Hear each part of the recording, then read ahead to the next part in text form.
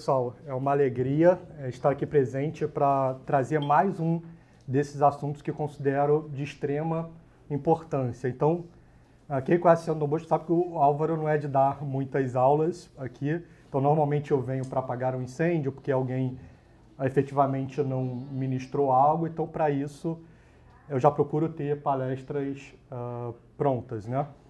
Então, uh, um dos temas que eu tenho estudado muito nesses anos eh, e de uma forma cada vez mais crescente é a história eh, do Brasil e a história eh, de Portugal. Então, com a publicação do livro do João Almeal, que é um desses livros que faz com que a gente tenha uma visão muito mais clara do que a verdadeira história de Portugal, eu percebi que tinha chegado o momento de vir aqui ministrar uma palestra específica sobre isso.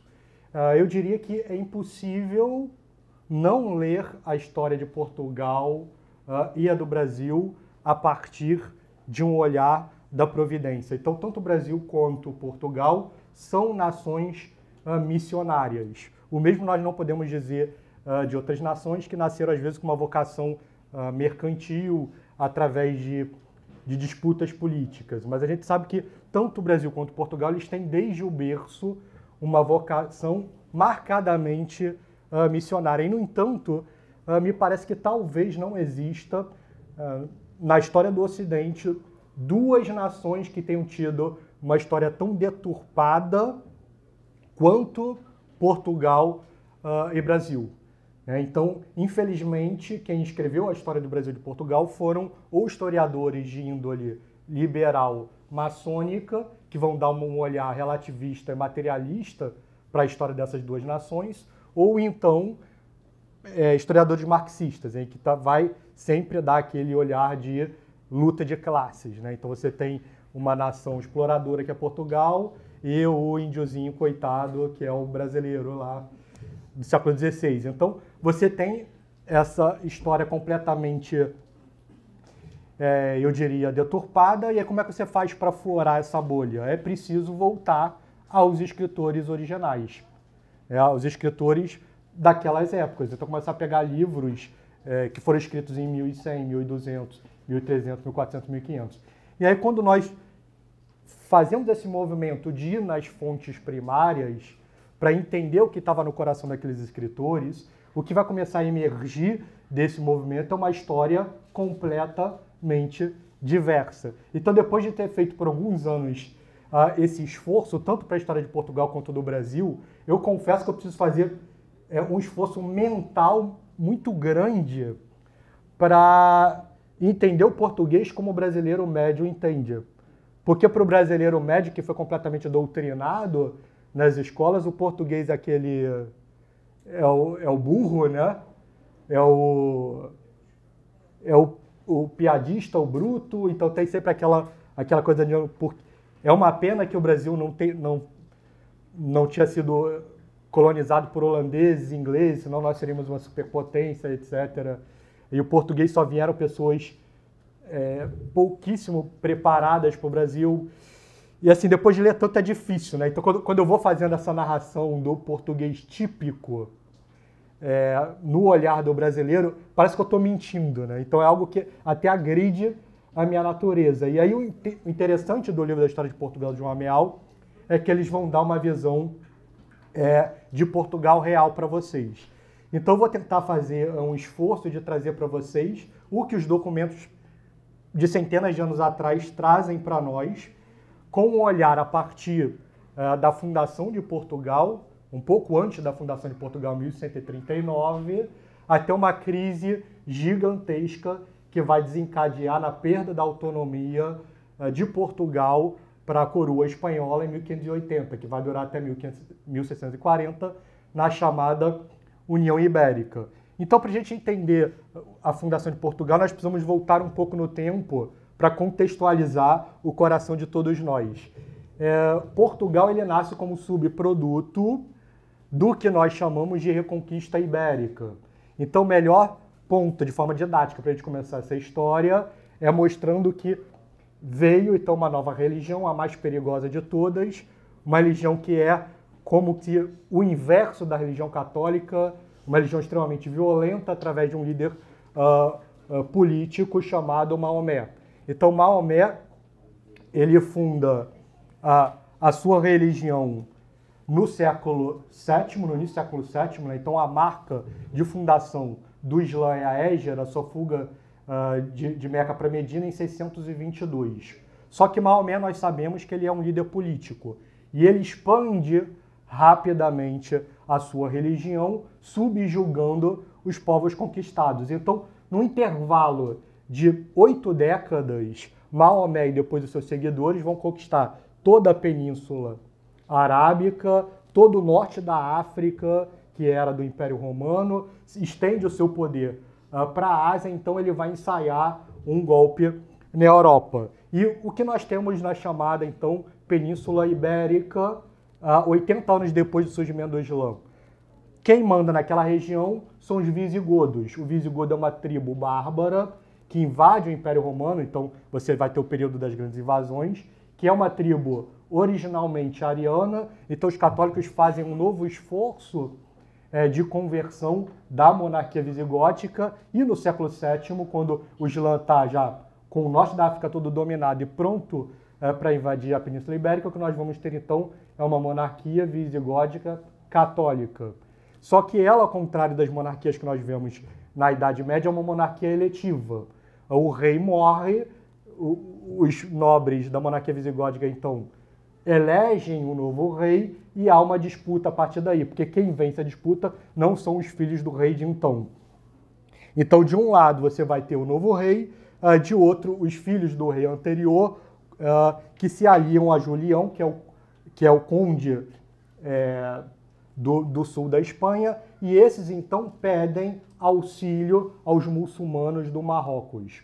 Os muçulmanos do Marrocos, uh, liderados por Tariq, então ultrapassam o, o norte da África, no chamado Estreito de Gibraltar. Então, quem ver o mapa da Europa vai ver que existe o mar Mediterrâneo, né, que separa a África da Europa, e tem um, um, um trechinho ali que é muito perto né, da África, da, da Europa, que na, na Idade Antiga era chamada até da, das colunas de Hércules, né? era o fim é, do mundo antigo, e a partir dali, então, Tariq uh, invade para ajudar uma das facções do, do, da monarquia visigótica, e a partir daí eles aproveitam esse anseio e invadem todo o território que nós conhecemos hoje como Portugal e Espanha, subjugando tudo de uma forma acelerada. Então eles entram na Península Ibérica em 711. Em 718, tudo que a gente conhece como Portugal e Espanha está praticamente conquistado. E aí eles vão fazer um último movimento no norte da Espanha, porque vai ter um reduto na chamada região das Astúrias, que é uma cadeia montanhosa que eles ainda não tinham conquistado. Bom, já tinham conquistado tudo e pensam, bom, o que pode dar errado agora? Falta só um naquinho ali no norte da Espanha para a gente conquistar a Península Ibérica toda. Pelaio, que é um nobre uh, que faz parte da monarquia visigótica, é, reúne alguns dos seus e dá combate aos muçulmanos em 718. Há um terremoto no meio da, da invasão que soterra parte dos invadores muçulmanos, e aí você vai ter então o milagre e a Batalha de Covadonga. Os espanhóis, né, a monarquia visigótica, vence, através de Pelaio, e Pelaio vai fundar então no norte da, da Espanha, numa região bem restrita, a monarquia das Astúrias, começando um processo de sete séculos de combate contra os muçulmanos, que vai ser chamada a Reconquista Ibérica, certo? E isso então, como nós estamos vendo, são sete séculos uh, de luta. Então a Espanha e Portugal vão ser forjados nessa luta contra os invasores muçulmanos. É uma luta que demora muito, com vários reveses e vitórias, mas no século XI nós vamos ter já um ensaio de estabilidade. É rei uh, do norte da Espanha, Fernando Magno. Ele tem já uma parte considerável da chamada norte da Espanha e várias coroas. A Espanha ela é como se fosse uma confederação de reinos, né? Então, por isso que você vê hoje movimentos, às vezes, de dependência dentro da Espanha. Ela não é como o Brasil, que sempre se viu uma coisa só. Lá são vários reinos confederados. Então, ao norte do Portugal, nós temos a chamada Galiza, é, que é um reino. Ao lado de Portugal, nós temos a coroa de Leão. Ao lado de Leão, nós temos a coroa de Castela. Do lado de Castela ao norte, nós temos Navarra e embaixo Aragão. Então é uma salada, né? Então, naquela época, Fernando Magno, que vai ser rei de 1037 a 1065, ele conseguiu consolidar a Galiza, no norte de Portugal, uh, Leão e Castela. Então, boa parte da Espanha ao norte é de Fernando Magno. E ele faz um movimento para conquistar já grande parte do que nós conhecemos hoje uh, como Portugal. E aí Fernando Magno morre, a gente já começa a se aproximar da independência de Portugal, porque vai assumir Dom Afonso VI.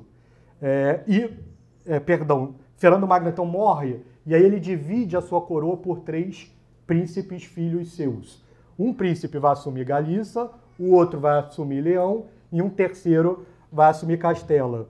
Dom Afonso VI ele assume Leão, que é esse império do meio. Ao longo do tempo ele consegue reunir todas as outras duas coroas embaixo da sua e se auto-intitula imperador de toda Espanha.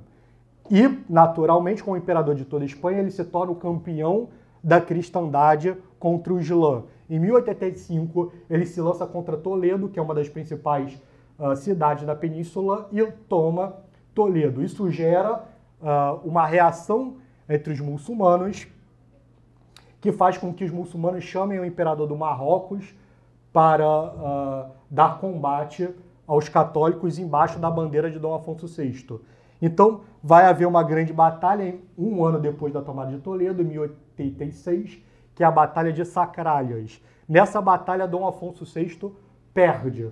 Então, e aí, mas nós vemos que parece então uma grande derrota, e é uma grande derrota para as forças católicas, mas Deus sempre está agindo uh, na história a favor dos católicos. Logo depois o filho do imperador marroquino morre, o imperador marroquino então resolve voltar para o Marrocos. Dom Afonso VI percebe a, dificuldade que ele tem na luta contra o invasor muçulmano e resolve então recorrer aos franceses.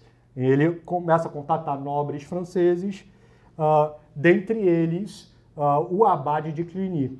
Cluny é, é a grande abadia, para quem já estudou a história da igreja, que vai reformar todos os mosteiros da Europa no século X e XI. Deus manda cinco abades santos e um beato em sequência para o mosteiro de Cluny, e a partir desse mosteiro, vários mosteiros vão ser uh, reformados em toda a Europa. A abadia de Cluny se torna a principal abadia do mundo e a principal reformadora eh, dos mosteiros na Europa, inclusive chega a fazer papas.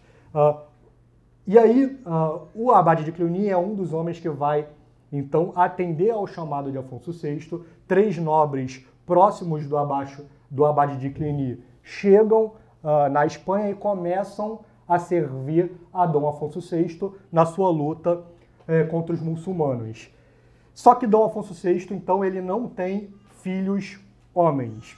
Todos os seus filhos são mulheres e ele resolve casar três das suas filhas com três dos nobres uh, franceses. A sua filha mais velha, Dona Urraca, ele vai fazer casar com Dom Raimundo de Borgonha.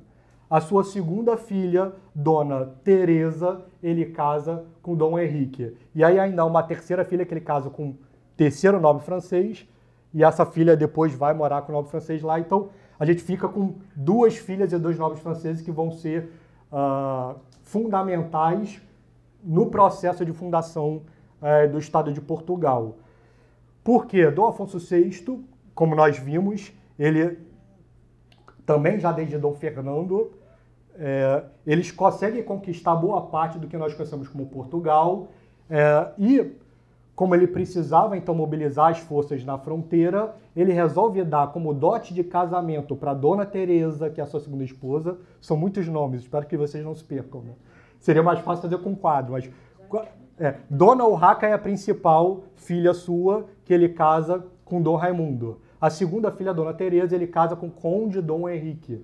ambos nobres, nobres franceses que vieram para a Espanha para ajudar Dom Afonso VI, o imperador de toda a Espanha. Para Conde Dom Henrique, então, ele dá como dote de casamento o Condado de Portugal, que é um território que vai abranger desde uh, o rio Minho, que pega a divisa de Portugal com a atual Galiza, até o território que nós vamos conhecer hoje como a cidade de Coimbra. Né? Então é o território que Conde Dom Henrique recebe como dote de casamento para Dona Teresa. E aí ele sempre vai ser leal ao seu sogro, mas ao mesmo tempo, conforme o tempo vai passando, Conde Dom Henrique vai alimentando cada vez mais uma autonomia em relação uh, ao seu sogro. Então, uh, nós vamos ter que o seu sogro, em 1096, quando Dom Henrique recebe o condado, em 1109, o seu sogro morre. E aí, quando o seu sogro morre, naturalmente começa a haver uma disputa para ver quem vai herdar todos aqueles uh, terrenos. Logo em seguida, o esposo de Dona Urraca também morre. Então, olha a confusão, né? E Dona Urraca é dada a Dona Urraca em casamento uh, Dom Afonso de Aragão, que é outro reino da península, que não estava nessa história. Então, de repente, você vai ter uh, quatro partidos disputando a Península Ibérica. De um lado, Dona Urraca, como a herdeira natural, que casa com Dom Afonso de Aragão. De outro, Dom Gemires, que é o arcebispo de Compostela, faz proclamar filha de Dona Urraca, o filho de Dona Urraca, que também é Afonso, como uh, rei da Galiza. E de outro, nós temos Conde Dom Henrique assumindo o Condado de Portugal. Quatro facções. Elas, essas facções, naturalmente, entram em guerra civil. Conde Dom Henrique morre três anos uh, depois uh, do, do imperador Dom Afonso VI. E aí, uh, Conde Dom Henrique, ele vai morrer em 112, só que em 110 ele vai ter uh, o filho que virá a se tornar o primeiro rei de Portugal. Então, efetivamente, agora são muitos nomes, mas agora a gente se concentra numa figura que é Dom Afonso Henriques. Então, Conde Dom Henrique, ele tem Dom Afonso Henriques em 1100 e 9. Um dos principais nobres do Condado de Portugal se chama Dom Egas Moniz. Dom Egas Moniz é muito próximo de Conde Dom Henrique e pede a Conde Dom Henrique que uh, o primeiro filho dele ou filha viesse efetivamente a ser cuidado por Dom Egas Moniz. Então, Dom Egas Moniz chega para Dom Henrique, Dom Henrique, olha, é, eu sei que está vindo o seu primeiro sucessor aí, eu gostaria de ser o seu aio, né, o preceptor, quem vai cuidar e educar é, do seu filho. Ele concede, Dom Afonso Henriques nasce em 1110, 1109, so, e nasce com um porte robusto, dizem uh, os cronistas da época, né, grande, mas com uma péssima formação das pernas. Ele nasce aleijado. E aquilo é uma tristeza para Conde Dom Henrique e também para Dom Egas Moniz. Dom Egas Moniz, de qualquer forma, vai lá uh, cumprir né, aquele pedido que ele tinha feito a Conde Dom Henrique, só que quando ele recebe essa notícia, quando Dom Henrique fala, não, eu não quero dar para curar, porque veja como ele está, ele está, essa criança é uma criança uh, aleijada e eu tenho certeza que ela nasceu aleijada por culpa dos meus pecados. E aí, Conde uh, Dom Egas Moniz responde para Conde Dom Henrique, não Conde Dom Henrique, eu, eu realmente quero cuidar dessa criança e eu tenho certeza que essa criança nasceu de forma aleijada por culpa dos meus pecados. Então, fica esse embate quando Dom Henrique resolve dar o filho Dom Afonso Henriques para a criação de Dom Egas Muniz, que é um dos principais nobres é, do Condado de Portugal. E quando Dom Afonso Henriques tinha cinco anos de idade, enquanto Dom Egas Muniz dormia, conta uh, o seu primeiro uh, cronista, que Nossa Senhora aparece em sonho para Dom Egas Moniz. E ela vai falar em sonho para Dom Egas Moniz, Dom Egas, por que dormes? E aquela experiência mística faz com que Dom Egas acorde assustado e Nossa Senhora então fala para ele: Eu sou a Virgem Maria, que te mando que vais a um lugar e cave. Acharás aí uma igreja que em outro tempo foi começado em meu nome e uma imagem minha. Faça corrigir a imagem e a igreja feita minha honra. Isto feito, farás vigília, pondo o menino que crias sobre o altar, e serás são de todo, e não menos trabalhe daqui em diante de o bem guardar e criar como faz até agora. E vejam agora a frase de Nossa Senhora para Dom Egas Muniz. Porque meu filho, nosso Senhor Jesus Cristo, quer por ele destruir muitos inimigos da fé. E Dom Egas Muniz fica tão impactado com aquela visão que ele pega a criança grande uh, e aleijada, leva ao lugar indicado a Nossa Senhora, constrói, uh, reconstrói né, a igrejinha como Nossa Senhora indicou e coloca a criança no altar. Então, nós vemos aqui como Cristo, mais um exemplo, como Cristo, que é Deus, continua agindo na história. No Antigo Testamento, no capítulo 22 de Gênesis, nós vemos que Abraão coloca Isaac no altar para morrer, ele deve ser sacrificado. E por causa da fidelidade de Abraão, Isaac vive. E Abraão vai se tornar um pai de grandes povos. Agora é a vez de Dom Egas Moniz colocar a criança no altar. Não para morrer, mas para viver. E quando essa criança é colocada no altar, ela se recupera uh, de forma miraculosa e vai ser então uma criança agora 100% de constituição robusta. E hoje, onde aquela criança foi colocada, existe ainda hoje um mosteiro, que é o mosteiro de Carquere, no, no norte de Portugal. Então Nossa Senhora indicou o porquê. Porque aquele filho deveria destruir muitos inimigos da fé. Então o milagre nunca é feito a esmo, ele é sempre feito com propósito. Nossa Senhora indica ali o porquê Dom Afonso Henriques deveria ser curado. E aí uh, nós temos que todo aquele embate entre as coroas continua. Né? O seu pai, nós vimos, ele morreu, o Conde Dom Henrique, em 1112. A sua mãe, Dona Teresa de Leão, assume uh, o Condado de Portugal e continua com a política é, do marido de uma independência cada vez maior é, de Portugal. Isso vai fazer, é, então, que, com que durante esse período, e aí mais um parênteses a gente precisa fazer, porque são muitas coisas acontecendo aí. Lembra que o filho de Dona Urraca, ele tinha sido feito por Dom Gelmires, uh, rei de Galiza, certo? Que é Dom Afonso também, o nome dele. Esse jovem, ele consegue unificar todas as coroas em torno de si tanto a coroa de Galiza, quanto de Leão, quanto de Castela, e vira Dom Afonso VII.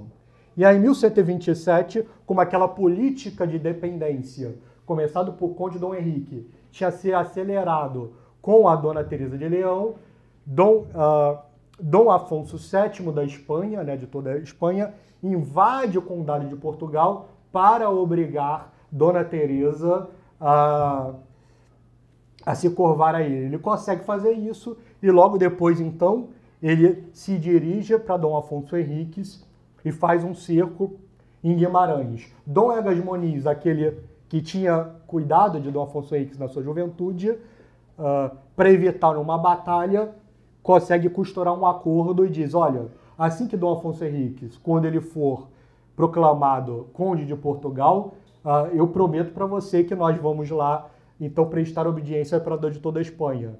Dom Afonso VII com, é, se dá satisfeito por isso e volta uh, para sua capital.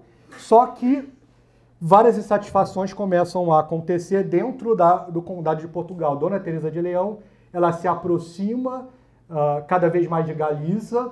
Uh, nobres de Galiza começam a ingerir no Condado de Portugal e aí vários dos nobres portugueses infelizes quanto a isso começam a se cercar de Dom Afonso Henriques. E aí vai haver uma batalha no ano seguinte, em 1128, de Dom Afonso Henriques com os nobres portugueses e Dona Teresa, sua mãe, com alguns nobres de Galiza e também de Portugal. Dom Afonso Henriques vence essa batalha de 1128 em São Mamédia e vira uh, o conde de Portugal. E aí, o que acontece então? Os nobres portugueses se recusam a prestar juramento uh, ao imperador espanhol. Isso vai gerar conflitos entre a coroa de Dom Afonso VII e de Dom Afonso Henriques. E aí vejam que Dom Egas Muniz fica agoniado por isso. Bom, mas ah, há dois anos atrás eu prometi a Afonso VII que nós iríamos lá prestar uh, obediência. E o que Dom Egas Muniz resolve fazer? Ele coloca toda a sua família com saco de penitente, eles colocam cordas no pescoço e ele vai a pé e de forma descalço até a corte de Dom Afonso VII colocar sua vida como expiação ao juramento feito. Então vejam que quando a gente pega uh, esses pequenos exemplos da história, a gente começa também a entender por que, que Cristo agiu e por que Nossa Senhora agiu. Vejam, Nossa Senhora apareceu para quem? Para alguém tão puro de coração e tão nobre que ele coloca a sua vida à disposição de Dom Afonso VII e, e da sua família, com cordas no pescoço e descalço, se apresenta na corte por causa de um juramento não cumprido. Dom Afonso VII uh, ah, fica tão furioso com, com a não submissão de Dom Afonso Henriques que no primeiro ímpeto ele quer realmente executar Dom Egas Moniz, mas outros nobres da corte de Dom Afonso VII, vendo a nobre atitude de Dom Egas Moniz, resolve então pedir para que a execução não, não fosse feita e Dom Afonso VII então libera Dom Egas Moniz de volta para o território português. Então nós temos uh, Dom Afonso Henriques, que vence a Batalha de Portugal, a Batalha de São Mamed contra sua mãe, em 1128, todo um processo que começou de 1096 até 1128, de dependência cada vez maior de Portugal, continua. E o que Dom Afonso Henriques vai perceber? Bom, eu tô com inimigos por todos os lados. No norte, é, existe o Partido da Galiza. A, a, oeste, existe o imperador que quer me reduzir a obediência. E ao sul, existe toda a ameaça muçulmana, certo? Que tem ainda 50% do território que nós conhecemos atualmente como Portugal. E como é que Dom Afonso Henriques resolve resolver isso? Na força. Então eu vou garantir a independência de Portugal na ponta da espada. Dom Afonso Henriques vai invadir Galiza duas vezes, em 1130 e 1135, que é o norte de Portugal, assina um tratado de paz com o imperador em 1137. Então, graças às suas campanhas militares, e grande parte bem sucedida, Dom Afonso Henriques vai cada vez mais criando as condições necessárias para o Condado de Portugal ganhar a independência do resto do território de Leão. E aí, então, é, nós nos aproximamos da batalha, a famosa Batalha de Ourique, que alguns de vocês já devem conhecer, 1139. Com a paz de Tui, em 1137, Dom Afonso Henriques, então, prepara é, todo o seu exército em Coimbra para invadir o território muçulmano. Então ele consegue reunir cerca de 11 mil a 12 mil soldados em Coimbra e resolve fazer uma grande incursão. Então isso era muito comum, certo? Então essas batalhas existiam grandes batalhas e incursões toda hora de tropas muçulmanas em territórios católicos e de tropas católicas em territórios muçulmanos. Dom Afonso Henriques reúne um grande exército e faz essa grande incursão lá para o sul é, de Portugal, em Algarves. E aí as forças muçulmanas, então, também eh, se reúnem para dar combate a Dom Afonso Henriques. O o rei Ismário une, chamado uh, cinco reis muçulmanos. O rei aí não é para a gente entender como rei hoje, é líder de grandes territórios de terras, mas de pequenas cidades-estados, ou taifas, né? Porque naquele momento o sul da, da Espanha muçulmana era dividido em taifas. E aí você vai ter, então, uh, uma, um contingente muçulmano significativamente maior em relação uh, as tropas católicas. Eles vão estar próximos do campo de Ourique, os acampamentos estão colocados, os nobres portugueses percebem que a quantidade de muçulmanos é significativamente maior em comparação com as tropas católicas, e aí eles uh, requerem então uma audiência com Dom Afonso Henriques. E os nobres colocam as questões né, para Dom Afonso Henriques. Dom Afonso, é o seguinte, olha só, você está vendo que o número de muçulmanos é superior, se nós dermos combate, provavelmente nós vamos perder, e quando nós perdemos, nós vamos perder uh, o, condado de Portugal, nossos pais vão sofrer, nossas filhas vão sofrer, nossas esposas vão sofrer. Então, o que a gente recomenda? Vamos voltar para o condado, já deu. Dom Afonso Henriques ouve o parecer dos nobres, agradece, se retira uh, e começa a refletir sobre o que fazer eh, diante da grande massa de muçulmanos com os Mário e outros cinco reis que estão à sua frente. E aí, Duarte Galvão, que é o primeiro cronista de Dom Afonso que narrou o milagre de Nossa Senhora, vai narrar o discurso que ele faz para as suas tropas como resposta ao parecer que os nobres tinham dados. Então ele perfila as suas tropas e vai dizer o seguinte, como resposta àquilo tudo que ele ouviu dos nobres. Irmãos, nós pelejamos por Deus, pela fé, pela verdade. E estes renegados que vedes pelejam contra Deus e pela falsidade. Nós, por nossa terra, eles, pela que nos tem tomada e furtada e querem furtar. Nós, pelo sangue e vingança de nossos antecessores. Está falando de toda a guerra da reconquista. Eles, para continuarem aspergindo o nosso sangue. Nós, por nossos pais, nossas mães, nossas pessoas, mulheres e filhos, com liberdade. Eles, a nós todos por em seu cativeiro. A terra que hoje em dia eles têm e possuem na África Lembre como os muçulmanos tomaram todo o norte da África. Na Espanha foi nossa, e eles tomaram dos cristãos por nossos pecados. E agora Deus quer que a cobremos de volta com o seu desfalecimento e destruição. Não desfalecemos da vontade de nosso Senhor Jesus Cristo. E com esse discurso inflamado, ele chama os portugueses a dar combate a uma massa bem superior é, de muçulmanos. Dissipa ah, as dúvidas no coração das tropas e se recolhe ao seu acampamento. Então, ah, Dom Afonso Henriques, na véspera da batalha eh, de Ourique, dorme. E aí, como Nossa Senhora tinha aparecido para o seu preceptor Dom Egas Moniz, quando tinha cinco anos de idade, agora nosso Jesus Cristo vai fazer a segunda parte do trabalho. Enquanto Dom Afonso Henriques dorme, um ermitão aparece uh, em sonho para Dom Afonso Henriques e diz para Dom Afonso Henriques não temer, porque Cristo estaria com ele naquela batalha.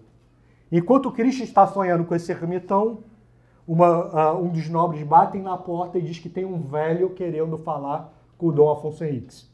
E Dom Afonso Henriques responde: Bom, se é católico, deixe que entre. E quando abre-se a tenda de Dom Afonso Henriques, quem aparece para ele? O ermitão que tinha aparecido no sonho.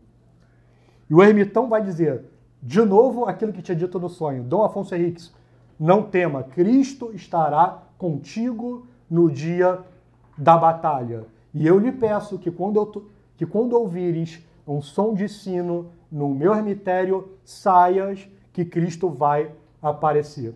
Dom Afonso Henriques fica impressionado com aquela uh, visita do ermitão, passa o resto uh, da noite em oração, ouve então essa misteriosa campainha no, ermit no ermitério do misterioso ermitão e sai para o acampamento. E quando ele sai uh, no acampamento, ele vê do lado de fora uma luz fortíssima, aquela luz vai se apagando e aparece Cristo pregado na cruz, rodeado por anjos. E quando Dom Afonso Henriques vê aquela visão, ele se prostra em terras e a sua reação é justamente rechaçar a visão. E aí ele vai dizer: Que merecimentos eu tenho, Cristo? É, e por que apareces para mim? Não é necessário aparecer para mim que tenham muita fé. Apareça para os muçulmanos para que eles se convertam e não haja a batalha. E Cristo vai responder pregado na cruz para Dom Afonso Henriques. Eu não apareci para acrescentar a sua fé, mas para fortalecer o teu coração nessa empresa. Vencerás esta batalha e outras, e vão te pedir que entre nesta batalha com o título de rei. Eu sou fundador e destruidor dos impérios de todo o mundo, e em ti, em tua geração, quero fundar para mim um reino por cuja indústria seja meu nome notificado a gentes estranhas. Então vejam, nessa frase Cristo está dizendo por que ele está aparecendo para Dom Afonso Henriques. Eu sou o fundador e destruidor dos impérios do mundo, e em ti e tua geração quero fundar para mim um reino por cuja indústria seja meu nome notificado a gentes estranhas. Compara, comporás as tuas armas, comporás as tuas armas do preço com que comprei o gênero humano, as cinco chagas, e daquele porque fui comprado pelos judeus, as 30 moedas. Dom Afonso Henrique responde: Se assim és, põe os olhos da misericórdia nos sucessores que prometeis, conservai livre de perigos portugueses, e se contra eles tiverem algum castigo ordenado, peço-vos que o deis antes a mim e aos meus descendentes, e que este povo fique a salvo, porque eu amo muito. Cristo some Dom Afonso Henriques, preparado com aquela visão, reúne as suas tropas, as tropas pedem para que Dom Afonso Henrique seja proclamado rei, como Cristo tinha uh, sugerido na visão, e Dom Afonso Henrique se lança então como rei de Portugal contra os muçulmanos e os portugueses obtêm uma vitória retumbante, apesar de serem minoria. E desde então, se vocês olharem no brasão de Portugal, vocês vão ver aquela segunda ordem de Cristo na aparição. Né? Tá aqui numa, numa parte da figura da imagem o brasão de Portugal. O que, o que nós vemos? Os cinco escudos que são as cinco chagas de Cristo. Em cada um dos cinco escudos, cinco moedas. Então, 5, 10, 15, 20, 25. E dizem os cronistas que as moedas do meio devem ser contadas duas vezes para darem 30. Então, nós vamos ter, como Cristo pediu, composto no escudo, as cinco chagas de Cristo, que são os cinco escudos, e as 30 moedas de traição de Judas. Então, Nossa Senhora apareceu na juventude do Afonso Henriques. Cristo aparece na fundação de Portugal. E no brasão está um chamado a todo filho de Portugal e a todo filho do Brasil. Escolher as cinco chagas de Cristo ou as 30 moedas da traição de Judas. Portugal nasceu para ser uma nação missionária. E Dom Afonso Henriques, como Cristo disse, e Nossa Senhora prometeu, lembre-se, Nossa Senhora também prometeu que por Dom Afonso Henriques, muitas vitórias viriam a Portugal. Dom Afonso Henriques vai expandir os territórios que nós conhecemos como Portugal, atual Portugal, então ele vai descer as conquistas em 1147, oito anos depois então de Ourique, ele conquista Santarém, Lisboa, atual capital de Portugal, e Sintra. Em 1165 ele conquista Évora.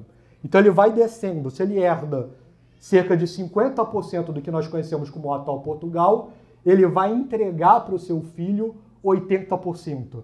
Ele vai ser conhecido como os muçulmanos, pelos muçulmanos como Ibn Eric, o filho de Henrique, né, quando o Henrique, o anjo exterminador, temido por muçulmanos. E Afonso Henriques vai ser tão grande que ele não lega só um reino, ele lega um rei. E na sua velhice, ele vai preparando seu filho, Dom Sancho I, para se tornar um grande rei. Então, a, a, descendência de Dom Afonso Henriques vai continuar o trabalho. Vai vir Dom Sancho I, seu filho, depois Dom Afonso II, Dom Sancho II e Dom Afonso III. Dom Afonso III vai ser o homem responsável por tornar o território de Portugal no continente muito parecido com o que nós conhecemos hoje. Porque uh, até o Tejo, que é, se vocês olharem no mapa, vocês vão ver que Lisboa ele está no rio Tejo, certo? Que é um grande rio, o principal rio que corta Portugal. E embaixo do Tejo nós temos um outro reino. Lembrem-se que a, a Península Ibérica é um retalho de reinos, certo? Qual é esse reino? É o reino de Algarves. É por isso que vocês já devem ter lido lá, muito por alto. Ah, na idade, no, no, no, no ensino médio, né?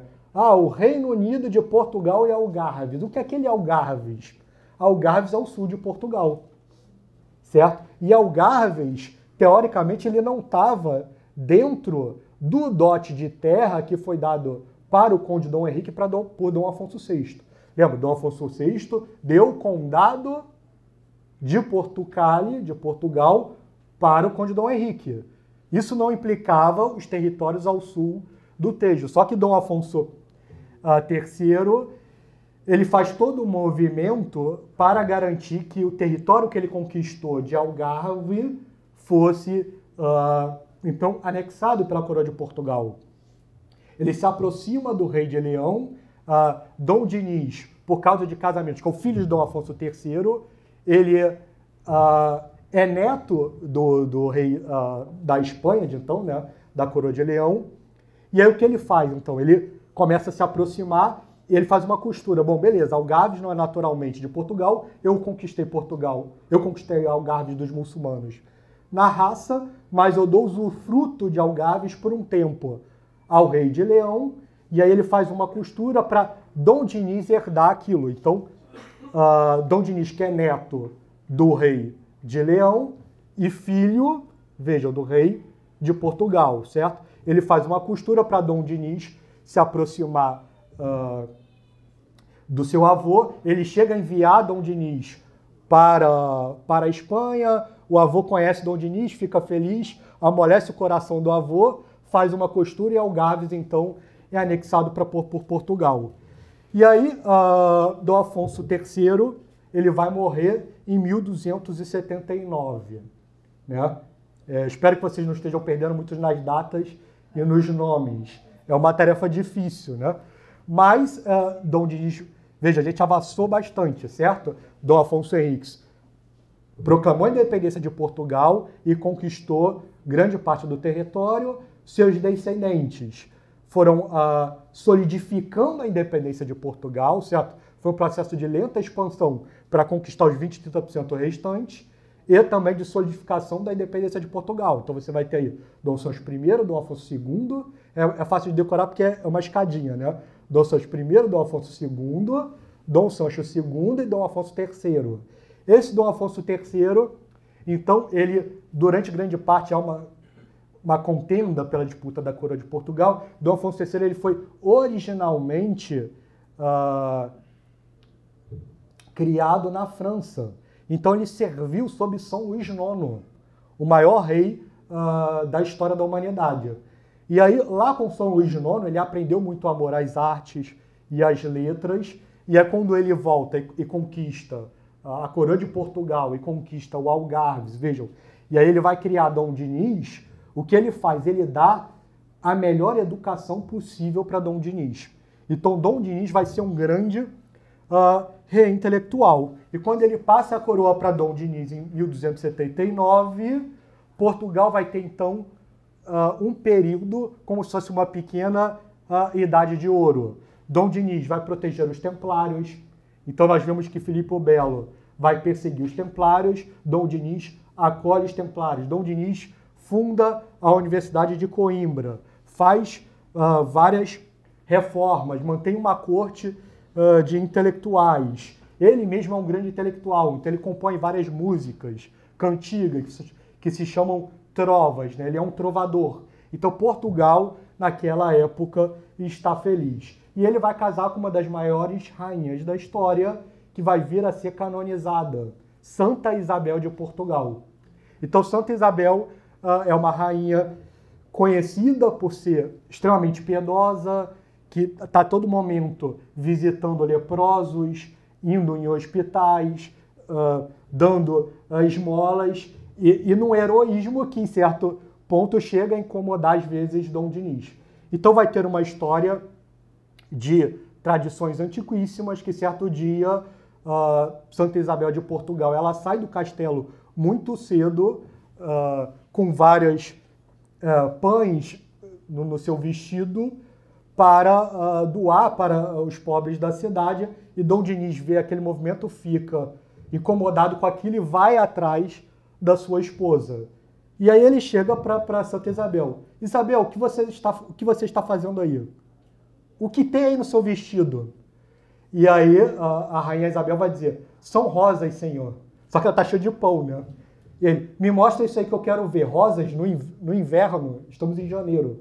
E aí a, rainha Isabel mostra o seu vestido e ao invés de pão uh, aparecem apenas rosas. Então Isabel transformou pães em rosas e várias das representações da rainha uh, portuguesa, que é muito conhecida ainda hoje em Portugal, são então com esse vestido uh, coberto de rosas. Então, é, Portugal está feliz e uh, Dom Diniz ele passa sua coroa para o seu filho Dom Afonso IV, que vai ter mais 30 anos é, de desenvolvimento uh, da coroa portuguesa, também com grande estabilidade, com uma breve interrupção uh, em 1340, e ainda assim porque Portugal vai ajudar a Espanha. Veja, é sempre aquele movimento de uh, europeus no norte de Portugal, católicos, contra uh, o sul muçulmano. E aí a gente vai ter mais uma grande invasão uh, de muçulmanos do norte da África, isso em 1340, e o rei Dom Afonso IV, filho de Dom Diniz, voluntariamente se une uh, à coroa de Leão para dar batalha aos muçulmanos, porque sabe que aquele é uma matéria de grande perigo para toda a Península Ibérica, e a gente vai ter a Batalha de Salada em 1340, uma grande batalha que vai ter vitória então das forças católicas. Por causa da abnegação da coroa portuguesa e de Dom Afonso IV, ele vai receber o cognome de O Bravo, por causa desse desempenho na batalha é, de Salado. Mas a gente avança mais na história, uh, e aí nós vamos ter uh, um rei, que é filho então de Dom Afonso IV, Dom Pedro, que vai entrar para a história como o cru. E por quê? Dom Afonso IV ele vai ter uh, uma grande pendência para resolver. Dom Pedro uh, é então o futuro rei de Portugal, prometido, só que ele está prometido com uma, com uma rainha, Dona Constança, se casa com ela, mas ele se apaixona. É por uma história que às vezes o Pachá e o Sidney já contaram em aulas muito antigas aqui, por Dona Inês uh, de Castro. E isso gera um conflito muito grande, porque há uma influência cada vez maior de cortes estrangeiras por intermédio de Dona Inês de Castro. Isso gera uma grande aflição no rei Dom Afonso IV, e aí o que ele resolve fazer, né, no momento de ausência de Dom Pedro, do infante Dom Pedro da corte, Dom Afonso IV resolve matar a amante de Dom Pedro, Dona Inês de Castro. Dom Pedro amava Dona Inês de Castro desesperadamente, ele fica desesperado com aquilo e aí ele chega então a, a ter certas escaramuças com seu pai, resolve, uh, em certo momento eles se ajeitam, mas ele só espera uh, se tornar o rei. Então Dom Afonso IV morre em 1357, Dom Pedro uh, assume o poder e uma das primeiras coisas que ele faz é é, matar todos aqueles que estavam envolvidos no assassinato de Dona Inês de Castro. Mas tirando isso, Dom Pedro uh, ele vai entrar para a história como o curu, uh, no sentido de ser um homem que aplica é, justiça de forma implacável. Mas implacável com quem? Com todos.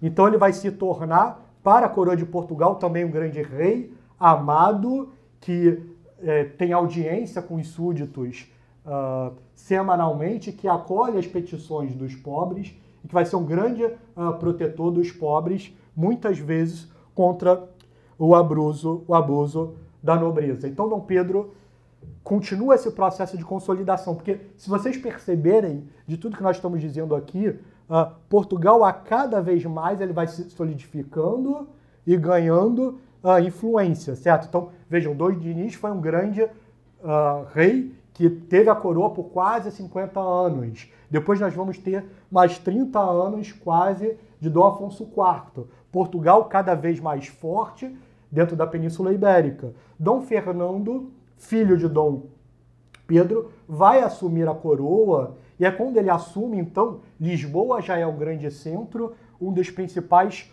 portos uh, de toda a Europa. Uh, os cofres do rei, do, do, rei estão lotados porque o comércio está desenvolvido em toda uh, a região da coroa de Portugal, certo? Portugal já unificada. Então vejam que coisa interessante, porque Portugal, muito antes de todas as outras uh, nações europeias, ele já tem ali as suas fronteiras, como nós conhecemos hoje, é, solidificadas, certo? O sul da Espanha ainda, no Reino de Granada, é ocupado é, por muçulmanos. Só que Dom Fernando, ao contrário de todos os reis anteriores que nós vimos, vai ter um reinado catastrófico. Por dois motivos. Uh, o primeiro motivo uh, é que ele se mete toda hora em conflitos de Castela. Então ele quer para ele a coroa de Leão e Castela. Então ele vai invadir Castela três vezes, uma a primeira vez logo depois que ele se torna rei, depois em 1373 e depois em 1381. Uh, ah, e várias vezes ele, ele perde essa batalha. Então Portugal ele sofre muito com isso. E mais do que isso, ele se apaixona pela mulher errada. Ele consegue fazer pior do que Dom Pedro, né? O Dom Pedro o pai. Porque o que, que o pai fez? Ele se apaixonou, uh, ele teve uma amante, né? É, ele teve uma amante que foi a dona Inês de Castro, que Dom Afonso IV, seu, seu pai, matou. Dom, uh, Dom Fernando ele faz pior. Ele se apaixona por uma mulher casada. Leonor Teles. E aí ele age para garantir a separação da esposa da, da, da mulher casada, né? Ele se casa com essa mulher casada. Ele consegue a nulidade com base em grau de parentesco e se casa é, com a Leonor Teles. Obviamente, vejam, gente, o Lula, o Lula é casado, por exemplo, com uma mulher casada, né? Então isso não causa escândalo. Ninguém nem quer saber, porque nós vivemos numa sociedade descristianizada. Mas Portugal era extremamente católico. Imagina como é que pegava para o povo o fato de um rei uh, uh, assediar uma mulher casada, fazer a mulher se casar e casar com essa mulher.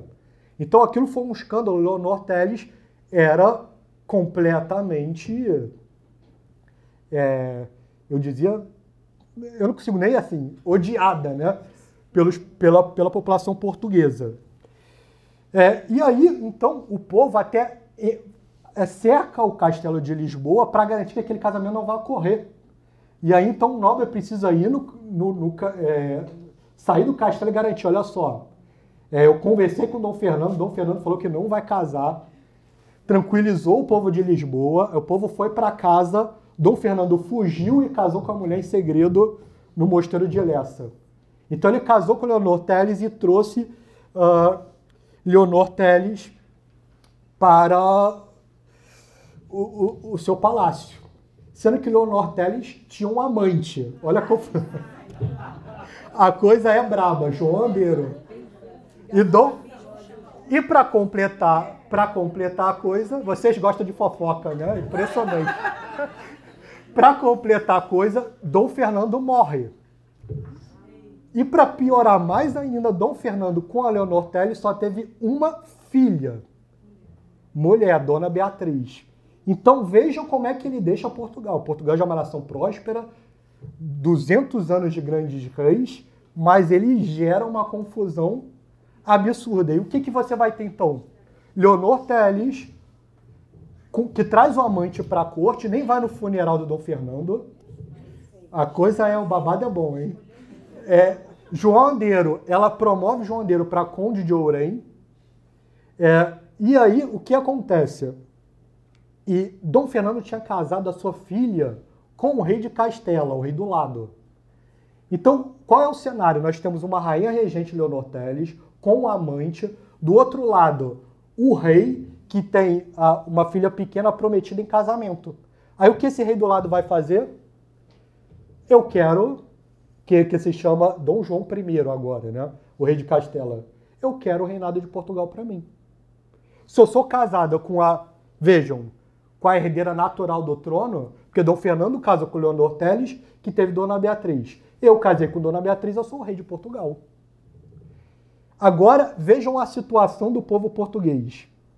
Ele está desesperado, porque a regente é a Leonor Teles com o amante. Sendo que tudo caminha para Portugal perder a sua independência depois de 200 anos já independente. A, a, a nacionalidade formada, tudo caminha para a anexação de Portugal pela Espanha. O que, que a gente vai fazer? Vejam, agora vamos olhar a coisa com um olhar de previdência. Parece tudo perdido, né? É o caos. Mas vejam, vocês acham que Nossa Senhora apareceu para Dom Egas Moniz e consertou as pernas do garotinho lá, Dom Afonso Henriques à toa? E falou, uh, prometeu aquilo tudo para Portugal à toa? Vocês acham que Cristo apareceu uh, no ato de fundação de Portugal, também prometendo que Portugal se tornaria uma grande nação à toa? Não. Então, naquele momento de caos, naquele momento que tudo estaria perdido, Cristo deveria agir na história. Só que dessa vez, Cristo vai agir na história como? Suscitando é, grandes homens. O maior general das forças portuguesas entram para a história uh, e talvez uh, um homem que eu diria que eu mais lamento é, de, de ter sumido tanto da história de Portugal quanto do Brasil, quanto Nuno Álvares, o condestável. Nuno Álvares é o principal militar das forças portuguesas. Ele está vendo aquele cenário, ele está desesperado e ele pensa: o que, que eu vou fazer? Né? É, a anexação é praticamente inevitável, Leonor Teles manda, João Andeiro manda e desmanda. Uh, na corte, como uh, amante de Leonor Teles, o que, que eu vou fazer? E aí uh, ele tem uma. Ele pensa numa solução um pouco desesperada. Né? Porque, vejam, então, Dom Pedro teve Dom Fernando, né? E Dom Fernando, então, tinha três irmãos bastardos. Uh, dois filhos de Dona Inês de Castro, que é aquela mulher que Dom Pedro se apaixonou. Eu tô te... Vejam, tentar colocar a árvore genealógica mais ou menos na cabeça de vocês, né? Dom Pedro é o cru, né? O que casou com Dona aquele que amava a Dona Inês de Castro, certo? Dom Pedro teve Dom Fernando, certo? E aí, Dom Fernando teve Dona, Dona Beatriz. Por um lado, Dom Pedro uh, teve dois filhos com Dona Inês de Castro e teve um outro filho com uma mulher que a, gente, que a gente nem sabe direito que é, que é Teresa Lourenço, que era Dom João de Aves. Então você tinha, além de Dona Beatriz, que era herdeira natural, dois filhos com Dona Inês de Castro, mais Dom João de Avis, que era o quarto da parada, né? E aí, qual é a ideia que Nuno Álvares vai ter? Vamos invadir o, o palácio, vamos matar João Andeiro, vamos depor Leonor Teles e vamos colocar João de Avis no poder. Essa é a ideia de Nuno Álvares. E aí ele começa, então, aí, bicho. É, é, sei lá, é pior do que novela das nove, né? Vai começar ali aquela corte palaciano, ele começa a tentar é, trazer os nobres para sua causa. Seus irmãos, ele tem irmãos que vão uh, lutar depois pelo estandarte da Espanha. Portugal está completamente dividido. Só que Leonor Teles é uma mulher perversa, né? já dá para perceber. Se desfez do, do, do marido, arrumou o amante. E, e ela, uma das coisas que ela queria, e a todo momento ela tentava fazer, era executar Dom João de Aveiro porque era um, um, um rival, né? Veja, uma, uma rainha que está com tá ali ba balançando no trono, né? Porque o povo a odeia. Ali do lado tem a Espanha querendo uh, assumir a todo momento. E aí, uh, Dom João de Avis está com a faca tão no pescoço que ele, uh, ele resolve comprar o plano de Nuno Álvares. E aí, uh, ele vai então ao palácio, tem uma audiência com Dona Leonor Teles, está Dona Leonor Teles no trono, João uh, Andeiro uh, do lado, em 6 de dezembro de 1383. João de Avis tem audiência, aquela, um bate no ombrinho do outro, né?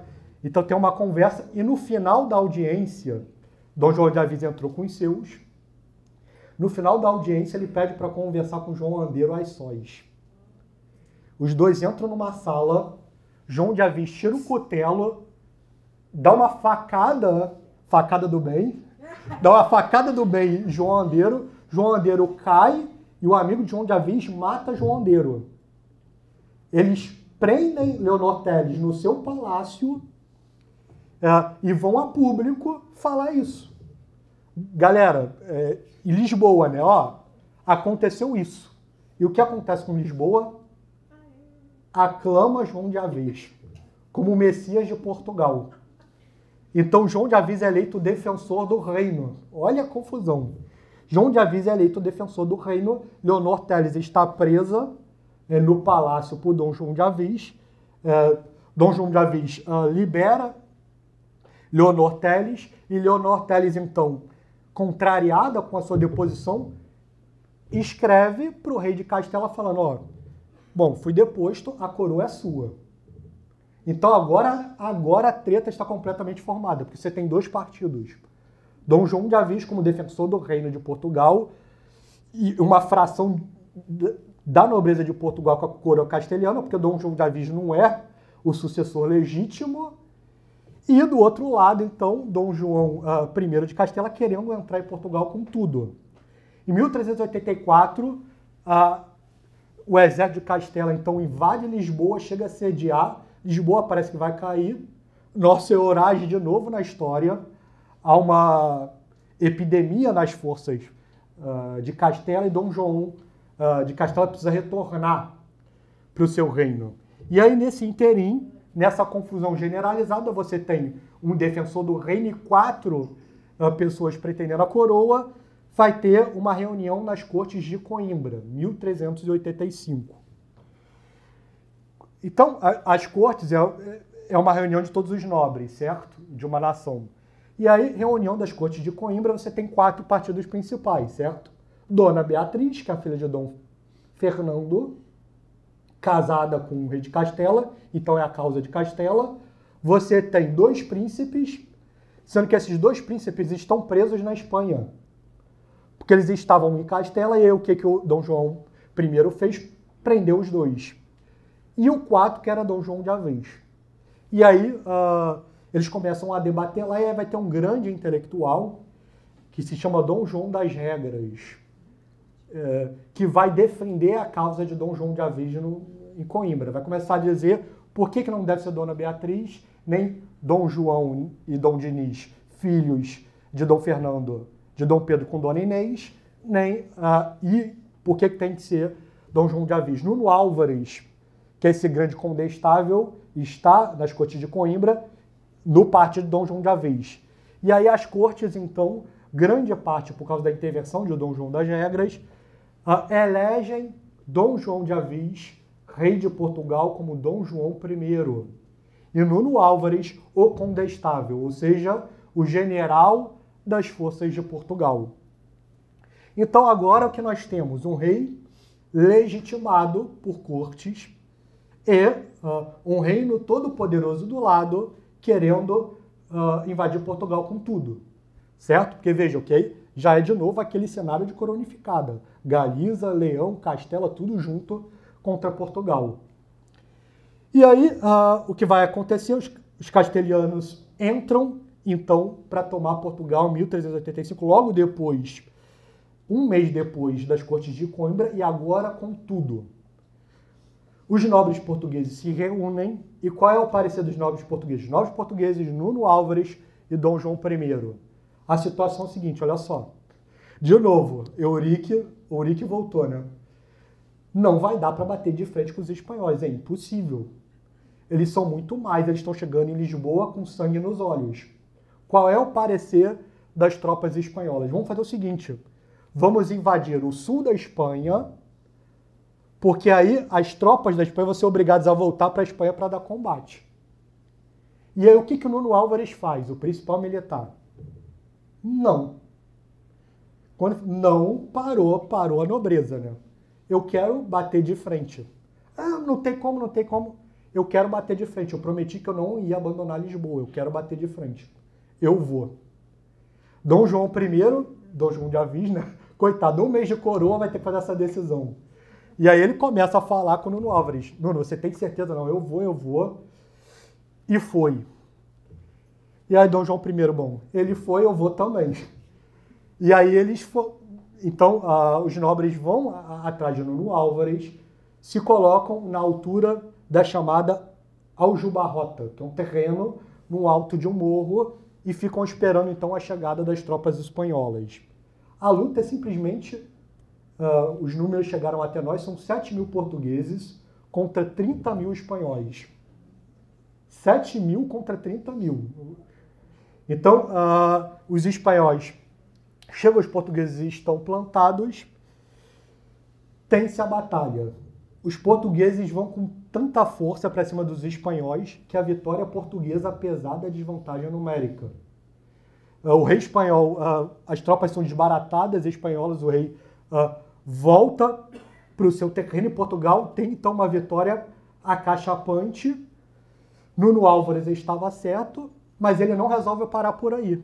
Ele falou: não, beleza, nós vencemos a Jubarrota. Agora, vocês queriam para a Espanha, né? Então nós vamos. Não, como assim? Atacar a Espanha? Ele, não, agora eu quero invadir lá para garantir ainda mais a vitória. Nuno Álvares reúne os seus e se prepara então para uma segunda batalha agora em território espanhol uh, para atacar os espanhóis em seu pleno território. E aí nós vamos ter uma segunda batalha, a Batalha de Valverde. De novo, os portugueses são minoria e agora eles estão em território espanhol. As forças espanholas se armam uh, em campo de batalha. Começa a batalha entre as forças de Nuno Alves, general das forças espanholas, portuguesas, uh, e as forças espanholas. O embate é mais terrível ainda que o Jubarrota. Então, a Jubarrota era 7 mil contra 30 mil. Os portugueses venceram. Há essa segunda batalha. Os portugueses começam a ceder, começam a ser massacrados. E em determinado momento da batalha, cadê Nuno Álvares? Morreu. Ninguém acha. O parecer é que ele morreu, né? Então, cadê Nuno Álvares? Cadê Nuno Álvares? Ninguém acha, ninguém acha. Os nobres começaram a procurar. Rui Gonçalves sai da batalha, começa a entrar no mato, cadê Nuno Álvares, cadê Nuno Álvares, encontra o corpo de Nuno Álvares. Como é que ele está? Ajoelhado e rezando. O pau comendo na batalha, os portugueses morrendo, os espanhóis passando a faca e Nuno Álvares está rezando, em êxtase, aparentemente conversando uh, com Nosso Senhor. Uh, e, e aí o Rui Gonçalves fica agoniado. Ele, o que, que você está fazendo, Nuno Álvares? É, eu estou rezando. Ele, não, nada de rezar, nada de rezar que tá todo mundo morrendo. Ele, ainda não é tempo. Não, nada de rezar, começam a chegar outros nobres e tá todo mundo vendo é, Nuno Álvares em êxtase místico. E aí daqui a pouco ele vê a bandeira da Ordem de Santiago Espanhola levantando. Aí ele aponta, é lá. Que cada um português seja quatro levanta, sai do êxtase místico e vai com tudo para dentro das forças espanholas. Os portugueses vão atrás e varrem os espanhóis. Então é uma segunda vitória acachapante em Valverde. Uh, os portugueses conseguem vários despojos dos espanhóis e retornam para Portugal. A independência de Portugal uh, está assegurada. Então, uh, estamos em 1300 em 85, Nuno Álvares conseguiu duas vitórias Ponte, junto com Dom João de Avis, uh, fundando a Casa de Avis em 1385. E essa casa, fundada por Dom João, bom, é tanta história para contar, eu espero que vocês não desanimem até lá. Mas a Casa de Avis vai se tornar. Bom, eu sou sempre muito tendencioso, talvez, eu muito apaixonado, mas é a casa que eu sou mais apaixonado na história da humanidade, porque talvez nenhuma casa gerou tantos grandes reis quanto e homens nobres quanto a casa de Avis, certo? E aí uh, só comparável talvez à casa dos Habsburgo de Carlos V. Por quê? Então Dom João de Aviso, esse bastardo, ele vai fundar a dinastia de Avis. E ele vai casar com uma grande princesa que é Dona Felipe de Lencastre, uma inglesa, e vai ter grandes filhos, né? vários filhos homens, que vão ser chamados de a ínclita geração. Por que a ínclita geração? Porque é uma geração de grandes príncipes, todos muito bem formados, tanto culturalmente quanto uh, militarmente. Então, de 1385 a 1415, uh, Dom João I está fortalecendo as bases deste novo Portugal. E três dos seus filhos já têm idade para serem armados cavaleiros: Dom Duarte, Dom Pedro e Dom Henrique. E aí, esses, e aí qual, é a idade, qual é a ideia de Dom João I? Bom, Portugal está em paz há 30 anos, vamos fazer o seguinte. Uh, a, a, ideia de ser armado cavaleiro na Idade Média, a gente perdeu um pouco isso. Mas era algo quase místico, né? Então, o cavaleiro ele ia para uma batalha, o nobre, e aí se desempenhava, tinha uma grande função na batalha. E aí, por causa disso, o rei às vezes colocava aquela coisa que a gente vê de botar a espada de um lado, de outro do, pe do pescoço do, do nobre, aí o armava cavaleiro. Então, no, depois de uma batalha, um cavaleiro armava, o cavaleiro armava o outro. Então, assim, era algo imponente. Aí o que, que Dom João I fez? Bom, a gente está em paz, vamos fazer um grande evento aqui em Lisboa. É, eu, vocês vão provar que vocês treinaram a vida inteira em armas, Dom Duarte, Dom Pedro e Dom Henrique. Vocês vão provar o valor de vocês, a gente arma vocês cavaleiros. E aí os três, não. A gente quer ser armado em campo de batalha por algo, por alguma iniciativa que faça com que a fé e o império sejam aclamados. E aí começa aquele debate: o que, que pode ser feito em Portugal? E aí eles têm uma ideia. Por que, que a gente não leva a guerra aos muçulmanos no seu próprio continente? Coisa básica, assim. Bom, como é que Tariq invadiu uh, a Península Ibérica? Através de Ceuta, ele passou a de Gibraltar e começou toda essa confusão. Beleza, ele de Ceuta ele tomou a Europa. Por que, que a gente não toma Ceuta de volta? Então Ceuta era um grande centro comercial, várias especiarias vinham das Índias por Ceuta, né? Todo o comércio de especiarias, veja, porque hoje tudo saiu, hoje está tudo deturpado, né? Mas uh, o comércio de especiarias era algo chave para os muçulmanos porque eles financiavam toda a guerra contra os católicos, porque eles estavam no meio, certo? Então, quem é que tinha acesso às mercadorias é, das Índias? Os muçulmanos. Então, com a venda da mercadoria das Índias, eles financiavam o massacre de católicos, certo? Então, aí eles tiveram a ideia de partir para a conquista de Ceuta. E aí, vejam, porque tudo na história de Portugal é impressionante, tá? Quando a gente olha com o olhar de todos. Porque aí os príncipes dão essa ideia. E qual é a preocupação de Dom João I? Veja, vamos tentar sempre fazer paralelo com coisas modernas. Né? A preocupação, do Putin para invadir a Ucrânia é uma coisa geopolítica. Né? Vamos lá invadir a Ucrânia, os Estados Unidos, influência econômica, política, etc, etc. E aí os filhos chegam e estão para Dom João I. Por que não Ceuta?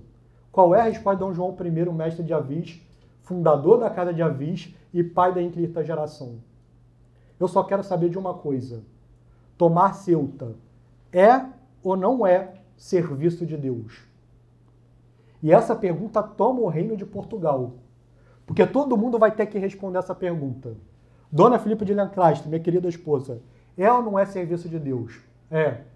Os filhos, claro que é, a gente quer trocação. Ah, é, reúne o conselho, é ou não é serviço de Deus? É. Reúne os teólogos de Portugal, é ou não é serviço de Deus? É. Nuno Álvares, chama lá Nuno Álvares, o que, é que você acha? Até Nuno Álvares responde, né? Então tem a, tem a fala de Nuno Álvares aqui. O que a mim me parece é que este feito nem foi achado. As frases são as três porque é um português antigo, né? Nem foi achado por uns, nem por outra pessoa deste mundo, mas que somente este assunto foi revelado por Deus.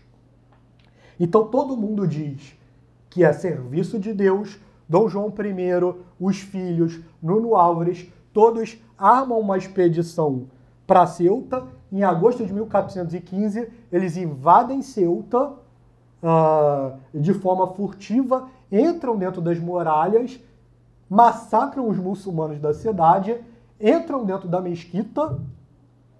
Dom João de Avis, para desespero do, do, dos ecumenistas atuais, transforma a mesquita em igreja de Ceuta e, não obstante, faz os três príncipes cavaleiros dentro da mesquita que virou igreja. Então, Dom Duarte, Dom Pedro e Dom Henrique são feitos cavaleiros dentro da ex-mesquita de Ceuta. Então, ainda hoje, depois que vocês voltarem para casa, e quem estiver no YouTube pode abrir rapidamente a página, entrem no mapa. Se vocês olharem no mapa, no Marrocos, olha o mapa do Marrocos. Lá no norte do Marrocos tem uma cidade chamada de Ceuta. De quem é? É da Espanha. No norte do Marrocos tem, tem uma cidade que é espanhola. Por quê? Porque aí houve a unificação ibérica e a, e a cidade de Ceuta passou para a mão espanhola. Mas ainda hoje tem um enclave dentro do, do Marrocos que é graças à, à geração e à Casa de Avis.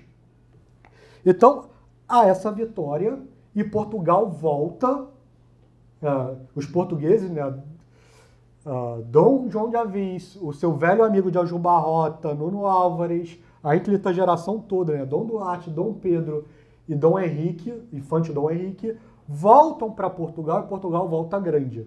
Porque agora ele tem a sua nação e tem um enclave no norte da África. E aí é, nós vamos ter um dos maiores príncipes da história, que é o infante Dom Henrique. Vejam, é uma tragédia que esses nomes tenham esquecido, sido esquecidos. Por isso que vocês precisam ler a história de Portugal, né? Do João Ameal. Mas o infante Dom Henrique, é, em 1412, ele já tinha enviado três anos, portanto, antes de, da conquista de Ceuta, ele já tinha começado a enviar as primeiras naus e chega a passar o Cabo de Nau, o Cabo Nau, que fica no Marrocos. E aí ele, em Ceuta, tem contato com aquela cidade uh, opulenta e mercantil, com as especiarias das Índias, e amadurece uh, os seus sonhos de fazer um desenvolvimento náutico, de cruzar as Áfricas. Existia já desde o século XII um lendário rei, que é o rei Preste João, que seria um rei uh, no norte da África, cristão, inimigo dos muçulmanos, e que os portugueses sempre se sonha, sonharam em conhecê-lo para juntos lutarem contra os muçulmanos. Existia a questão das especiarias, que eram fonte de riqueza uh, militar, é, fosse fonte de riqueza de crescimento para o império que tivesse. Né?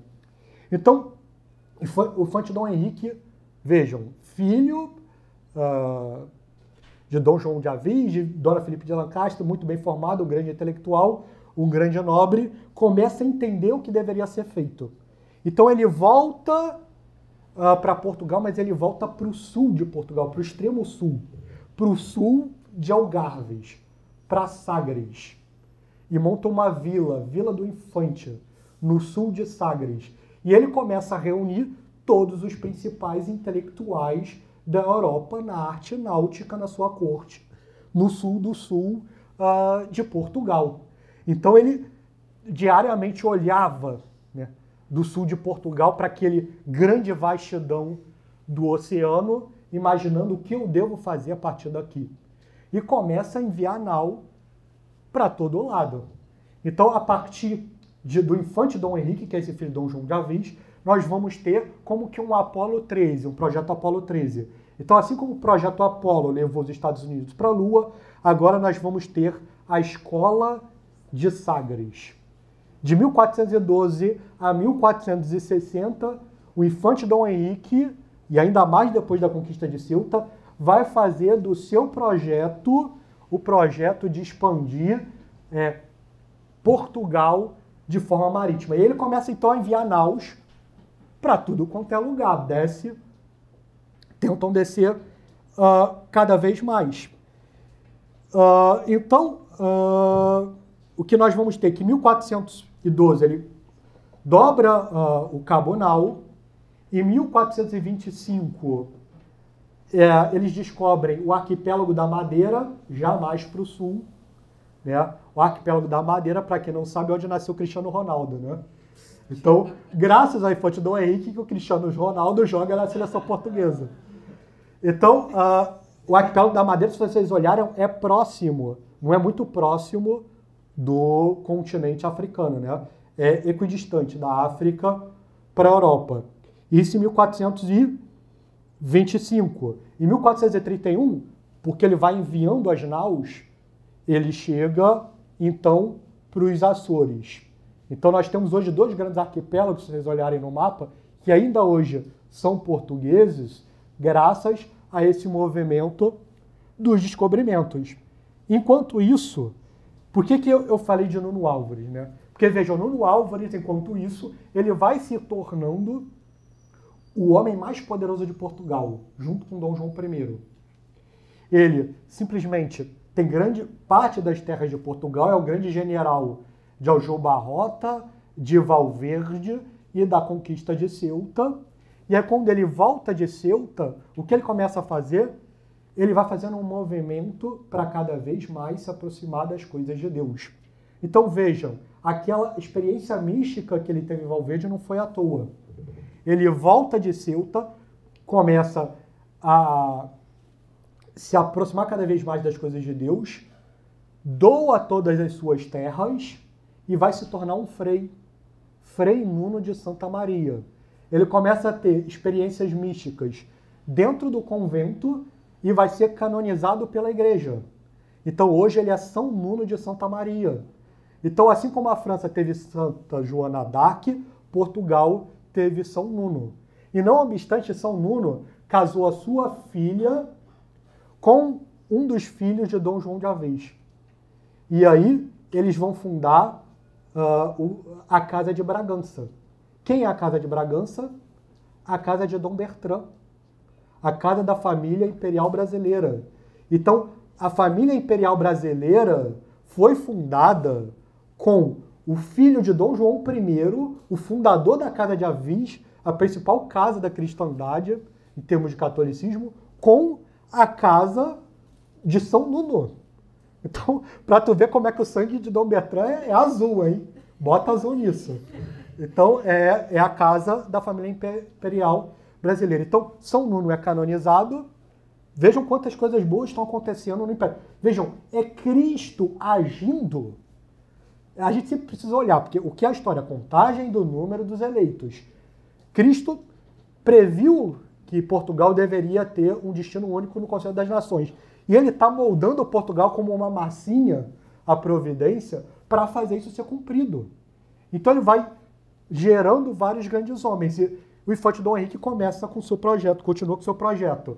Então o Infante Dom Henrique fundou a Escola de Sagres, como nós vimos, passou o Cabo Nau, descobriu o arquipélago de Madeira e o arquipélago de Açores. Só que existe algo que parece intransponível, que fica na Saara Ocidental, que se chama Cabo Bojador. O Cabo Bojador, é, para os medievais, era o fim do mundo. Ah, depois do Cabo Bojador, então, nós temos o Marrocos, né? Ah, ah, o arquipélago da Madeira está aqui, a Marrocos, a Ilhas das Canárias, vem o Saara Ocidental, Saara Ocidental só deserto, né? Aqui tem o Cabo Bojador. Nessa altura, é, você tem corais terríveis, muitas tempestades, o mar está uh, muito revolto, então é o chamado Mar Tenebroso. É, para os portugueses e para todos os ocidentais, aquilo ali era o fim do mundo. Uh, qualquer navegador que tentasse passar por ali uh, a nau ia afundar e você só ia ter deserto. E, e, de, e, e, a partir daquela região a coisa era tão inóspita que os homens brancos viravam negros. Né? Então é, é o sul, né? Você vai ter o predomínio negro. Então isso é o que estava no imaginário. Então nenhum navegador europeu jamais tentou passar o Cabo Bojador. E aquilo virou uma obsessão para o Infante Dom Henrique. Então ele começava a mandar a nau, vai, vai. E aí a, a, a colonização da madeira dos Açores foi um sucesso. Então, o infante Dom Henrique é que começou, a gente fala capitanias hereditárias, né? É, e aquilo foi um modelo implementado pelo infante Dom Henrique nos arquipélagos que ele descobriu. Então, já era um modelo que estava sendo exercitado pela coroa portuguesa séculos antes, um século antes, né? Então, é o infante Dom Henrique vai tentando enviar, não, e aí, sempre que chegava lá próximo, tinha algum caô, o cara voltava, né? Então ele comercializava com os muçulmanos ali, com os negros, é, começou a ter os primeiros movimentos de, infelizmente, de, de escravidão, etc. Mas sempre voltava. E aí o Fatidor recebia bem, não, vamos lá. E aí cada vez mais desenvolvendo as artes náuticas. Então adaptando certos instrumentos, conhecendo os caminhos marítimos. Né? Os Açores são muito lá uh, pro oeste. Então conhecendo todos os movimentos, a, a caravela começa a ser desenvolvida, Portugal começa a aprender a, a, navegar contra o vento, né, numa época que não existia navegação a motor. Então todo o movimento então começa a ser feito e nada de dobrar o cabo bojador. E aí, em 1433, o infante, o infante Dom Henrique chega para um dos seus principais uh, servidores, criados, nobres, que é, que é Gil Eanes. E chega, olha só, eu estou te dando essa missão, eu quero que você passe o cabo bojador. Arma ele com marginal e manda Gil Eanes. Ele chega próximo do cabo bojador, a tripulação se revolta, ele volta. E aí ele chega em 1434, 1433 ainda, para o Ifador Henrique lá em Sagres, não consegui. Aí Ifador Henrique, Joanes, chega aqui, senta aqui na minha frente. E aí ele fala o seguinte para Joanes, Vós sabeis como eu vos criei desde pequeno, e quanta confiança eu tenho em vós para as coisas do meu serviço. E por isso eu vos escolhi, para passar além do bojador. Arma Joanes de novo, agora eu quero que você passe. 1434. Joanes reúne outra tripulação, parte em direção ao cabojador e passa ao cabojador. Então ele vai um pouco para sudoeste, ele percebe que dá pelo sudoeste para passar o cabojador e com muito custo voltar. E aquele movimento, então ele chega na sua segunda tentativa uh, ah, para o infante Dom Henrique e fala: Olha, isso aqui foi, eu passei o cabojador, isso aqui foi o que eu consegui. Entrega um punhado de areia com, com mato ralo. E, e aquilo ali não era nada, né, economicamente. Mas o infante Dom Henrique nunca ficou tão feliz, porque aquilo ali significou uma vitória é, da ciência sobre todas as crendices acumuladas em relação às navegações, e a partir daquele momento, todo o desenvolvimento das navegações patrocinadas por Infante Dom Henrique ah, deveriam ocorrer de uma forma mais natural. Né? Então, foi ah, uma grande vitória. E o Infante Dom Henrique vai continuar com o seu trabalho de enviar naus, e é quando ele morre em 1460, grande parte daquele ser da África que a gente conhece já vai ser, uh, então, conhecido, certo?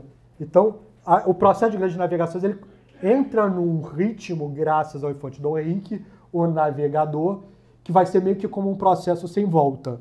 Uh, mas nesse interim, um dos infantes, um dos outros infantes, que é Dom Duarte, ele assume a coroa, né? Uh, Dom João I de Avis morre em 1433. Dom Duarte vai assumir a coroa de 1433 a 1438. Em 1437, eles tentam tomar uma segunda cidade dos muçulmanos no Marrocos, uh, que é Tanger. E aí, esse segundo ataque é um desastre. Um dos infantes é preso, Dom Fernando, uh, e Dom Fernando então vai morrer no cárcere. Né? E Dom Duarte, que é um dos príncipes da inquieta geração, morre de desgosto um ano depois, em 1438, assume então o neto de Dom João de Avis e filho de Dom Duarte, que é Dom Afonso V. Esse aí vai ter mais um reinado longo, que é de 1438 a 1481. Vejam, nós estamos na grande casa de Avis, a casa de Dom João I, a casa do navegador infante Dom Henrique, a casa de um outro infante que se oferece como holocausto, porque quando o infante Dom Henrique foi preso, qual foi a condição dos muçulmanos para soltar Dom Henrique? É restabelecer Ceuta. E aí foi Dom Henrique se conforma e resolve morrer no cárcere para Ceuta continuar católica. É, Dom, Dom, é, Dom, Duarte então assume, depois Dom Afonso V, que é o neto de Dom João de Aviz, assume, e de 1438 a 1481 ele vai ser rei de Portugal. E aí Portugal ele não para, certo? Então, uh, o que está no coração de Portugal, aquela mesmo movimento do Afonso Henriques, o mesmo movimento dos seus descendentes de completar a conquista em Portugal, o mesmo movimento da Casa de Avis, é o chamado Plus Ultra, que é uma divisa é, da Espanha e que aí João Amial, no seu livro, genialmente, ele fala, ó, isso aqui está no coração dos portugueses, ir além. Então, o coração de Portugal é sempre ir além. E aí, não obstante o avanço cada vez maior das navegações, a conquista de Ceuta e o desastre de Tanger, Dom Afonso V Neto, ele começa toda hora a querer atacar os muçulmanos no Marrocos. Então ele conquista três cidades do Marrocos. Ele vai conquistar Alcácer Seguir, Azila e Tanger. E vai entrar para a história como o africano, de tanta guerra que ele levou para os muçulmanos no Marrocos. Então, quando uh, Dom Afonso V morre, Portugal vai ter quatro cidades no Marrocos, né? Ceuta, Alcácer Seguir, Argila, Tanger, já vai ter avançado grande parte do continente africano uh, de forma é, marítima e o seu processo de avançar continua. Porque uh, Dom Afonso V morre uh, e aí passa a coroa para Dom João II. A gente se aproxima do descobrimento do Brasil e da conquista da Índia. Dom João II uh, é filho de Dom Afonso Henriques e já preparado por Dom Afonso Henriques. Então os grandes reis eles fazem esse movimento, né? De travar os filhos em campo de batalha. Vejam, Dom Afonso Henriques tinha feito isso com Dom Diniz. Uh, e agora, Dom Afonso V vai fazer a mesma coisa com Dom João II, que vai ser armado cavaleiro também dentro de uma mesquita em Asila com apenas uh, 20 e poucos anos. Ele vai virar rei é, com 26 anos de idade. Dom João II, então, rei de 1481 a 1495. Vai se tornar também um rei famosíssimo amigo dos pobres, com uma divisa que, que é Pola Lei, Pola Grey. Pola Lei, porque ele vai ser sempre a serviço da justiça, e Pola Grey, a favor da comunidade portuguesa. Vai entrar para a história com o epiteto de o príncipe perfeito. Portugal, uh, quando Dom João II morre, então, vejam, ele está. Dom João II é quem assina o Tratado de Tordesilhas. Então, oficial, oficiosamente, quem descobriu, quem descobriu o Brasil? Dom João II. O Tratado de toda é, história é, verdadeira, né? A gente vai ver o porquê. Mas quem, por que, que o Tratado de Tordesilhas houve toda uma tensão de jogar cada vez mais para o oeste de Cabo Verde a linha? Porque Dom João II já tinha descoberto o Brasil e ele queria garantir a maior parte daqueles territórios descobertos antes de revelar para o mundo. Então, Dom João II morre uh, em 1495 e herda a coroa uh, Dom Manuel I, seu primo, que vai ser, vai entrar para a história, nós vamos ver porquê, como o venturoso. Ele vai ser rei de 1495 a 1521. Então ele é o rei tanto da chegada às Índias quanto da descoberta oficial do Brasil. E aí, uh, Dom Manuel I, então, arma a armada de Vasco da Gama com quatro barcos e 170 homens. Né, os portugueses já tinham ultrapassado o Cabo da Tormenta, né, que é o Cabo da Boa Esperança, lá na África do Sul. Então, Dom Manuel uh, entrega essa missão para Vasco da Gama em 1492, 1497, com dois uh, objetivos bem específicos: a propagação da fé e o comércio com o Oriente. Uh, Vasco da Gama, então, se ajoelha diante de Dom Manuel, recebe aquela bandeira branca com a cruz da Ordem de Cristo, que é a herdeira dos Templários Vermelha. Uh, há uma vigília de armas, há uma missa e há uma procissão. Vejam, como é, todo movimento para saída de Vasco da Gama é todo católico, né? Então recebe a bandeira de Dom Manuel I, a, a toda uma vigília de armas de madrugada, uma procissão, uma missa. Portugal está em oração. Por quê? Portugal é uma nação missioneira. Aqueles nobres que estão partindo rumo às Índias são cruzados, são da ordem de Cristo. Uh, e assim eles partem. E quando eles voltam, dois anos depois, em 1499, para sempre uh, o destino do Ocidente está mudado. Depois de 70 anos, né, mais de 70 anos a contar do início dos esforços do infante Dom Henrique o Navegador, Portugal finalmente tinha largado tanto o mapa mundi que ele tinha conseguido cruzar a África, chegar na Índia, conseguir especiarias e voltar.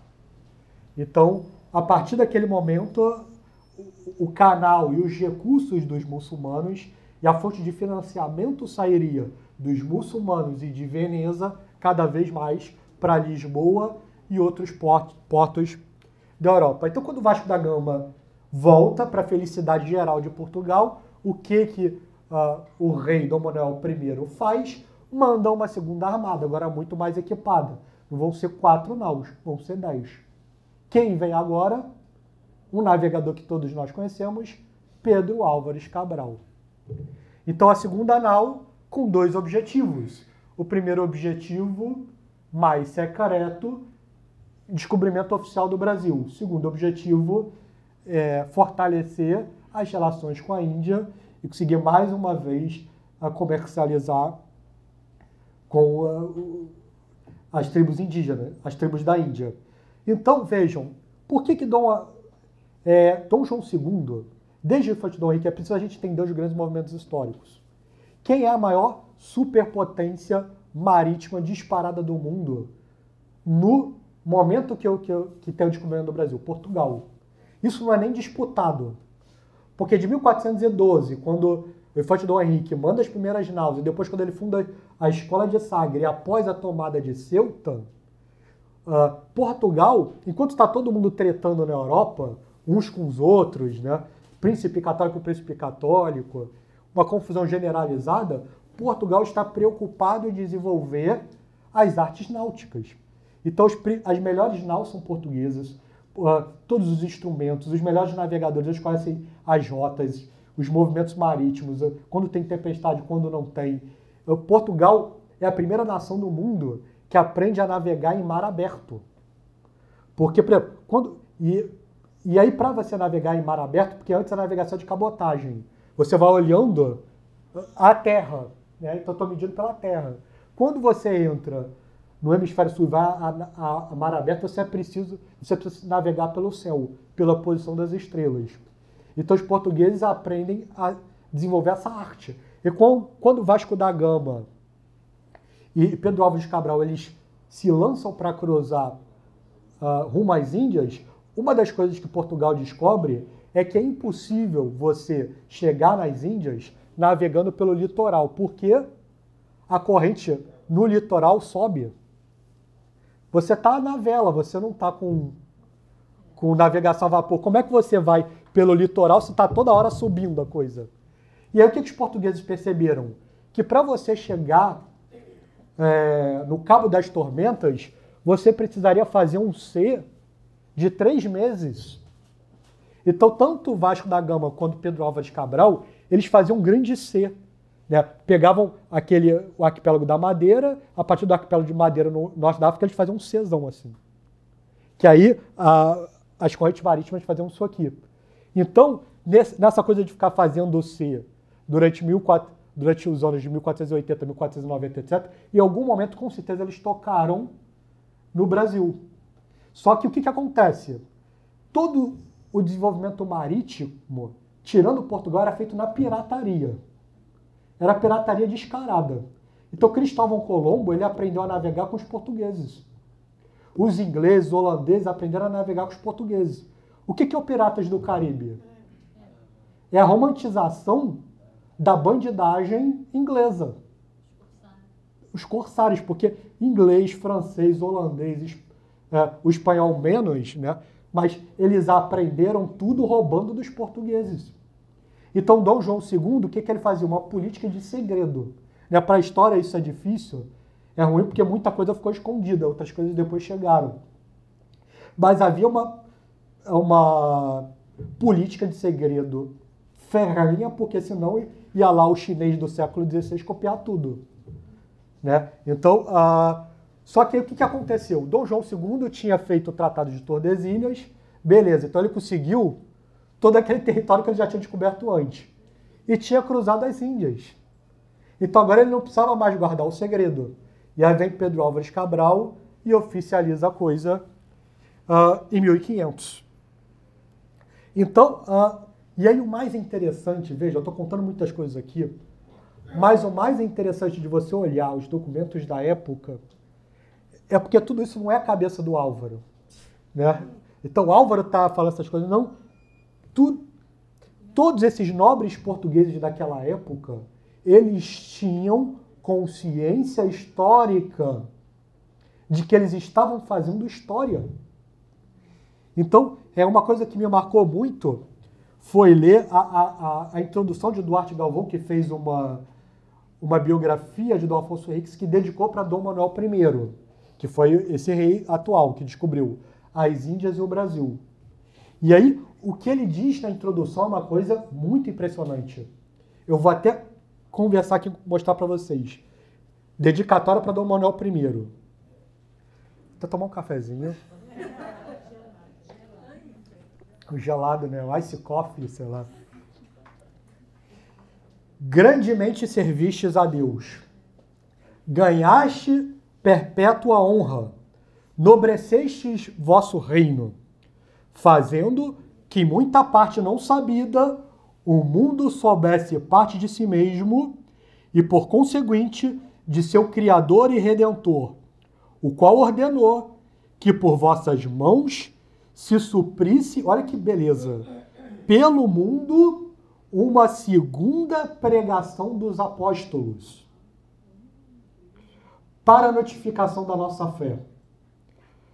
Afirma Santo Agostinho que em tempo dos apóstolos não foi pregada a fé de Cristo por todo mundo, nem até o seu tempo, 400 anos depois. E o que nosso Senhor disse que seu evangelho havia de ser notificado no mundo inteiro antes do fim, em testemunho a todas as gentes. O que, que ele está falando aqui? Do final do evangelho de Mateus. Porque o que, que Cristo diz no evangelho de Mateus? E depois ensinai a todas as nações. Batizai-as em nome do Pai, do Filho e do Espírito Santo. O que Dom Duarte Galvão está dizendo para Dom Manuel? Que Dom Manuel é o homem responsável por cumprir Mateus capítulo 28, a segunda pregação dos apóstolos, o levar o evangelho a todas as nações, um dos pré-requisitos para a vinda do para a segunda vinda de Cristo, né? para a vinda do anticristo e para a segunda vinda de Cristo. E aí ele vai dizer, então, que seu evangelho havia de ser notificado no mundo antes do fim em testemunho a todas as gentes.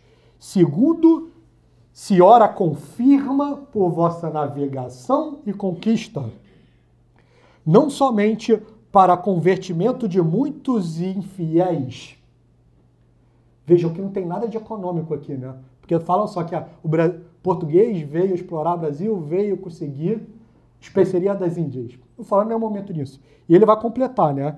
Não somente para convertimento de muitos infiéis, agora, para desespero do diálogo interreligioso, mas ainda para destruimento da seita maometana. Então, olha como ele faz a dedicatória para Dom Manuel I. Que Dom Manuel é venturoso, porque ele cumpriu Mateus 28, porque ele está levando o evangelho para todo mundo, porque ele está convertendo infiéis e está levando caos para a seita de Maomé, o Islã. É, então, gente, a, o movimento continua. Dom Manuel I, como funcionou a primeira esquadra, funcionou a segunda esquadra de Pedro Álvares Cabral, e ele começa a viar a esquadra todos os anos.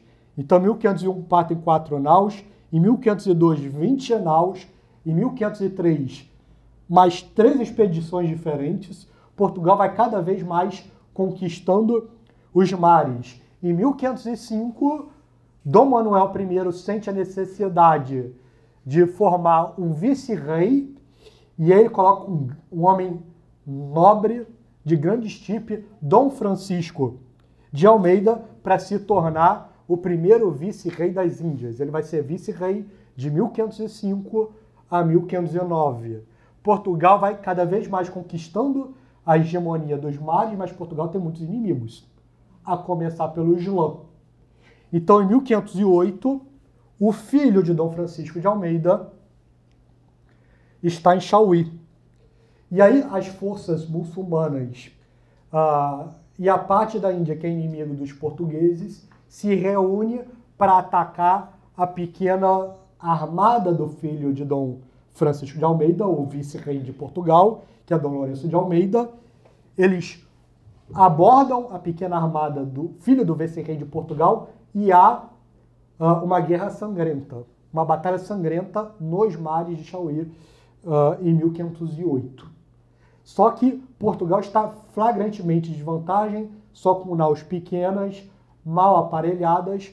O Islã ataca, mas os portugueses são os maiores navegadores do mundo. Vejam, os, os portugueses estão há 100 anos navegando os mares mais inóspitos que existem. Então, mesmo em grande desvantagem, Portugal vende a vitória muçulmana de forma caríssima. Né? Então, para cada português que cai, cai em cinco muçulmanos. Então, a batalha é sangrenta, mas mesmo assim os muçulmanos conseguem vencer porque eles eram muito mais. E o filho de Dom Francisco de Almeida morre. E Dom Francisco de Almeida fica sabendo. E quando ele fica sabendo, pensa num cara com sangue nos olhos para falar uh, o bom português. Então, Dom Francisco de Almeida sabe dos fatos ocorridos, reúne uma grande armada de 19 naus, agora uma armada bem ocupada, bem equipada, com algumas das suas principais naus. Vejam, Portugal, as naus mais desenvolvidas belicamente também eram de Portugal. Então, Portugal tinha umas naus pareciam tanques de guerra, né, com vários canhões laterais. E Dom Francisco de Almeida então arma as naus e se aproxima de Dil, porque ele fica sabendo quem foi os principais responsáveis por matar o filho, né? E aí ele manda uma carta para o capitão de Dil. E a carta basicamente é o seguinte, né, trazendo português uh, claro. Olha só, eu soube quem matou meu filho, eu tô chegando, eu não vou atacar de forma desavisada. Eu vou entrar, eu vou pegar um por um. E eu não quero nem saber. Se prepare. O muçulmano ficou agoniado e começou a escrever, então, para tentar a paz de Dom Francisco Almeida. Eu vou chegar. E houve uma coalizão de muçulmanos, então o sultão de Cairo enviou naus, o sultão da Turquia enviou naus, dois príncipes indianos enviaram naus também. Então, de repente, você teve 200, a coisa chegou a 200 contra 19. Então, assim, toda a principal armada do Egito, a armada do Império Otomano uh, o, a, e a armada de parte da Índia, 200 contra 19 naus. E Dom Francisco de Almeida chegou, eu vou com tudo. Então, ele armou uh, então toda a reação ali contra os muçulmanos e deu o ataque, disparou as bombardas das suas principais naus, começou a pegar fogo nas principais naus da aliança muçulmana Indiu, logo começou corpo a corpo, então as tropas portuguesas saíram das suas naus com todo o sangue nos olhos, invadindo as naus muçulmanas, e aí você vai ter uma das talvez cinco maiores batalhas marítimas da história da humanidade. Então, você pega uh, historiadores sérios de batalhas marítimas, eles vão dizer que a Batalha de Dil é uma das maiores batalhas, uma das cinco maiores batalhas da história da humanidade marítima. 19 grandes naus vão gerar o caos numa aliança com 200. Dom Francisco de Almeida destrói a armada muçulmana, causa milhares de mortes entre os muçulmanos e a partir dali, Portugal vai ser o senhor dos mares em toda a Índia. Então o domínio português não vai ser mais contestado. A partir da Batalha de Dil, o domínio do Oceano Índico vai ser ocidental, talvez até hoje. Né? Hoje não tem mais guerra, mas por quê? Portugal vai dominar os mares e depois, quando vier as outras potências para roubar o que Portugal construiu, mas nunca mais os muçulmanos vão conseguir ter controle do Oceano Índico. Então Portugal, veja, com Dom Manuel, ele é de tanta coisa, ele vai ser senhor de Portugal, Algarves, é, de grande parte do Marrocos, do Brasil, senhor da navegação das Índias, Dom uh, Francisco de Almeida, sucede Dom Francisco de Almeida, um dos maiores uh, navegadores uh, e nobres da história de Portugal, que é Dom Afonso de Albuquerque. Dom Afonso de Albuquerque, como Portugal já é o imperador dos mares, vai começar a conquistar várias das cidades das Índias, né? Então, várias cidades começam a cair no domínio da Índia, no domínio português, como Goa, Hormuz, Malaca. Né? Então, são cidades que até pouco tempo atrás eram posse portuguesa na Índia. Então, uh, Dom Manuel I ele herda tudo isso para Dom João III, que o sucede e que é, então vai ser rei de 1521 a 1557. Ele já está se aproximando do final da nossa história aqui, né? Dom João III ele vai entrar para a história como o piedoso. Mas vejam, Portugal, até aqui ele é um milagre. Porque você está falando de uma nação que tem um milhão só de habitantes e que domina o mundo inteiro. O primeiro e único, então, império ultramarino do mundo.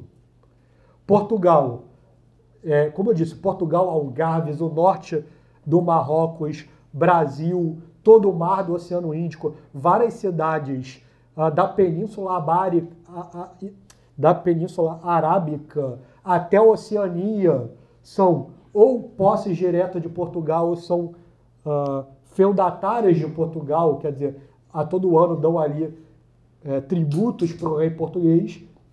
Só que não tem gente para manter isso, né? E os inimigos começam a se multiplicar. Porque eles começam a gerar ah, além do inimigo muçulmano, além de toda a, a, aliança que ele precisa costurar com os, com os povos da Índia, né, começam a vir também os inimigos dentro do continente uh, europeu.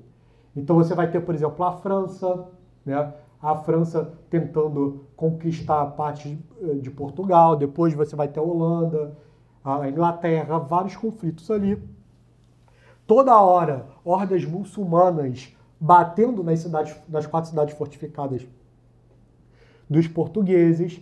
E aí Dom João III pensa o que fazer, né? não dá. Uh, e aí Dom João III ele resolve entregar. Portugal já tinha até conquistado mais cidades no Marrocos. E ele resolve entregar três das cidades do Marrocos. Eles não dá. Portugal não está aguentando.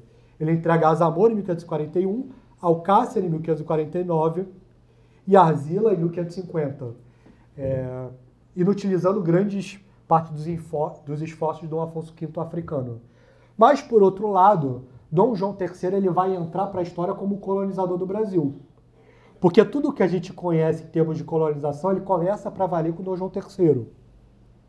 É ele que envia, por exemplo, Martim Afonso de Souza para fundar São Vicente em 1530, é ele que tem a ideia das capitanias hereditárias em 1534, aplicando no Brasil o modelo que Fatidor Henrique tinha aplicado uh, no arquipélago da Madeira e dos Açores. Uh, e depois é ele que envia também o primeiro governador-geral no Brasil, Tomé de Souza. Então todo o processo de colonização do Brasil ele é tocado para valer uh, por Dom João III. E aí, então, Dom João III vai ter um filho, que é Dom João Manuel, que logo morre. Mas Dom João Manuel ele morre, antes de morrer, ele tem um filho, que é Dom Sebastião, que é alguém que a gente conhece por alto, né? E aí, uh, Dom João III ele morre em 1557. O seu neto, Dom Sebastião, em 1557, ele tem três anos. Uh, então, naturalmente, a sua avó, esposa de Dom João III, Dona Catarina da Áustria, assume a regência. Depois, o seu tio-avô, uh, o cardeal Dom Henrique, assume a regência em 1568, com 14 anos.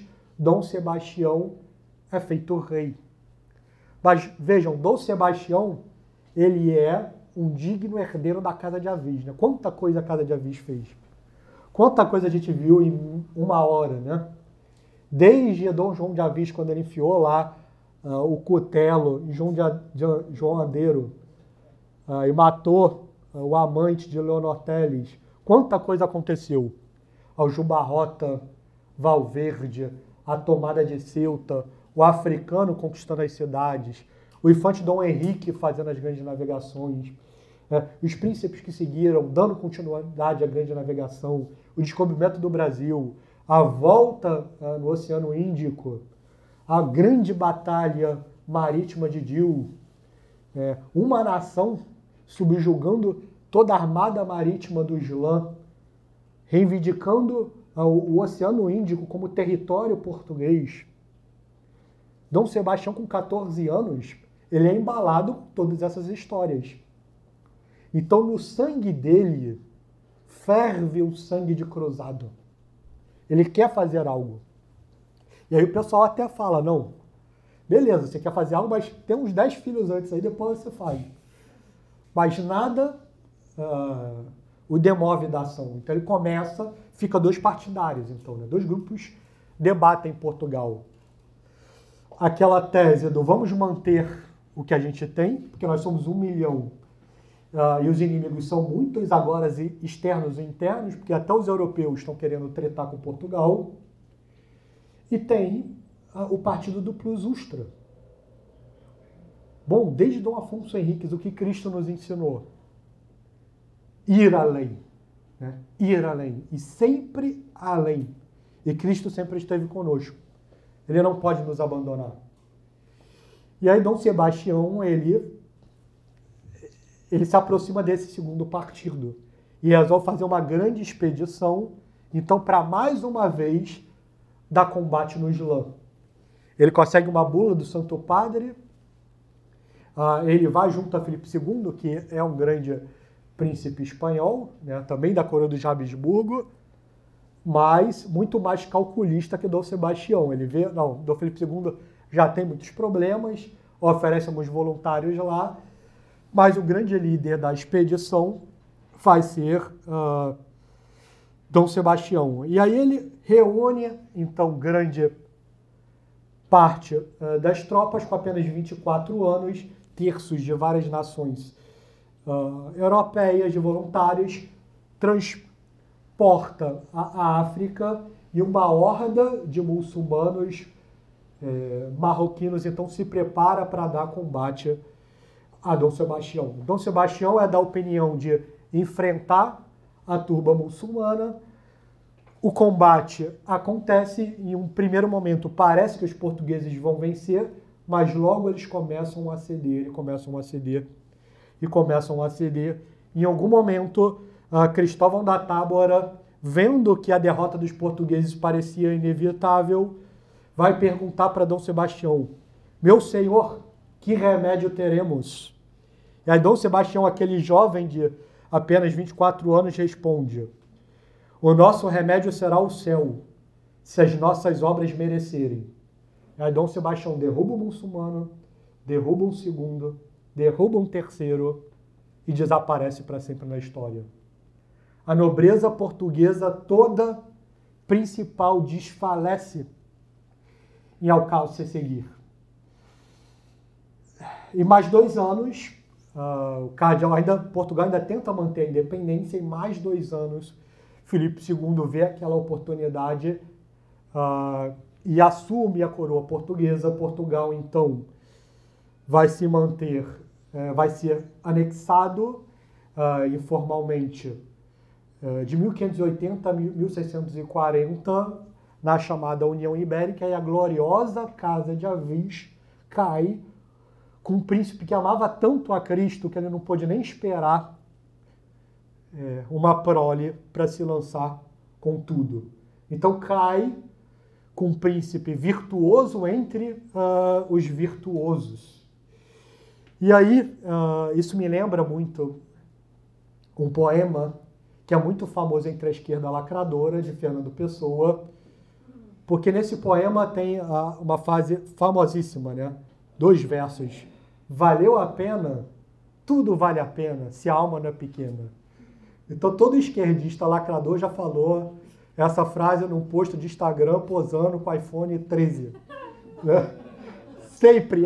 Cara, aí se você não ler uh, esse poema todo e não ler com essa chave, você não entende o que é um poema.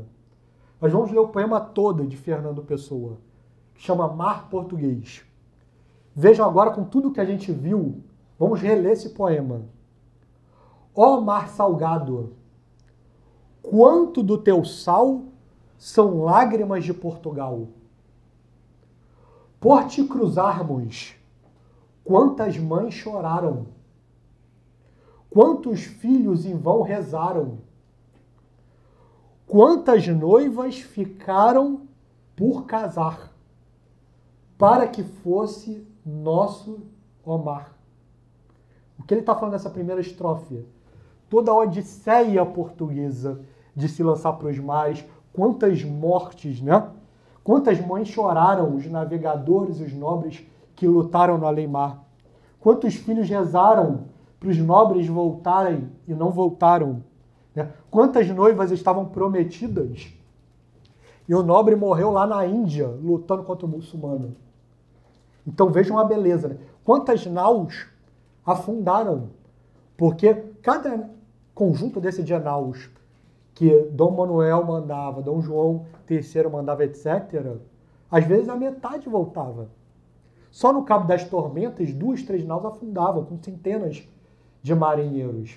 Então, recapitulando, ó mar salgado, quanto do teu sal são lágrimas de Portugal.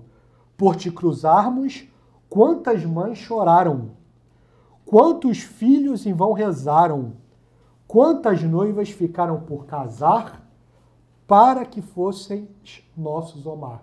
E agora vem os dois versos. Valeu a pena? Tudo vale a pena se a alma não é pequena. Ele está ligando aquilo ao espírito cruzado e imperial que contaminava o coração de todo português. E os dois versos, ninguém fala, mas são ainda mais bonitos quando a gente conhece essa história. Vejam que profundo. Quem quer passar além do bojador, que a gente já, já sabe qual é, é aquele cabo que ninguém passava, do medo, o cabo impossível, do mar tenebroso. Quem quer passar além do bojador tem que passar além da dor. Vejam que profundo, né? Deus ao mar o perigo e o abismo deu, mas nele é que espelhou o céu. Então vejam a profundidade do poema de Fernando Pessoa falando de toda uh, essa saga portuguesa pela fé, pela causa de Cristo e pelo império, para cumprir. Porque vejam, tudo a, a história é a contagem do número dos eleitos. Então, Cristo, quando reuniu os apóstolos no final do Evangelho de Mateus e disse: Ide ensinai e batizai todas as gentes em nome do Pai, do Filho e do Espírito Santo, nós vimos o que o cronista disse. Cristo tinha na sua mente naquele momento, por ser onisciente, conhecer o passado, o presente, o futuro necessário e os futuros contingentes, Cristo tinha Portugal em mente. E ele preparou Portugal ao longo da história para que tudo aquilo conhecesse. Nossa Senhora apareceu quando Dom Afonso Henriques era pequeno e transformou o aleijado em um grande campeão da fé. Cristo apareceu antes da batalha decisiva que fundou Portugal e Dom Afonso Henriques veio. Na maior crise da história de Portugal, Cristo agiu por intermédio de São Frei Nuno de Santa Maria, Cristo mandou uma Santa Joana d'Arc, que, por seu intermédio, fundou a Casa de Avis, talvez a maior casa de toda a cristandade em toda a história. E essa casa de grandes heróis da geração ínclita e de seus descendentes foi com tudo e morreu talvez com seu príncipe mais virtuoso, D. Sebastião, o homem que não poderia esperar para combater o muçulmano no Além-Mar. Então, tudo estava previsto desde a eternidade para acontecer. Cristo deu aos portugueses uma nação para nascer e um mundo para morrer. E nós somos descendentes dessa geração. E precisamos, então, lutar para que Cristo seja conhecido, servido e amado no Brasil, como ele foi historicamente em Portugal e que viva Cristo Rei.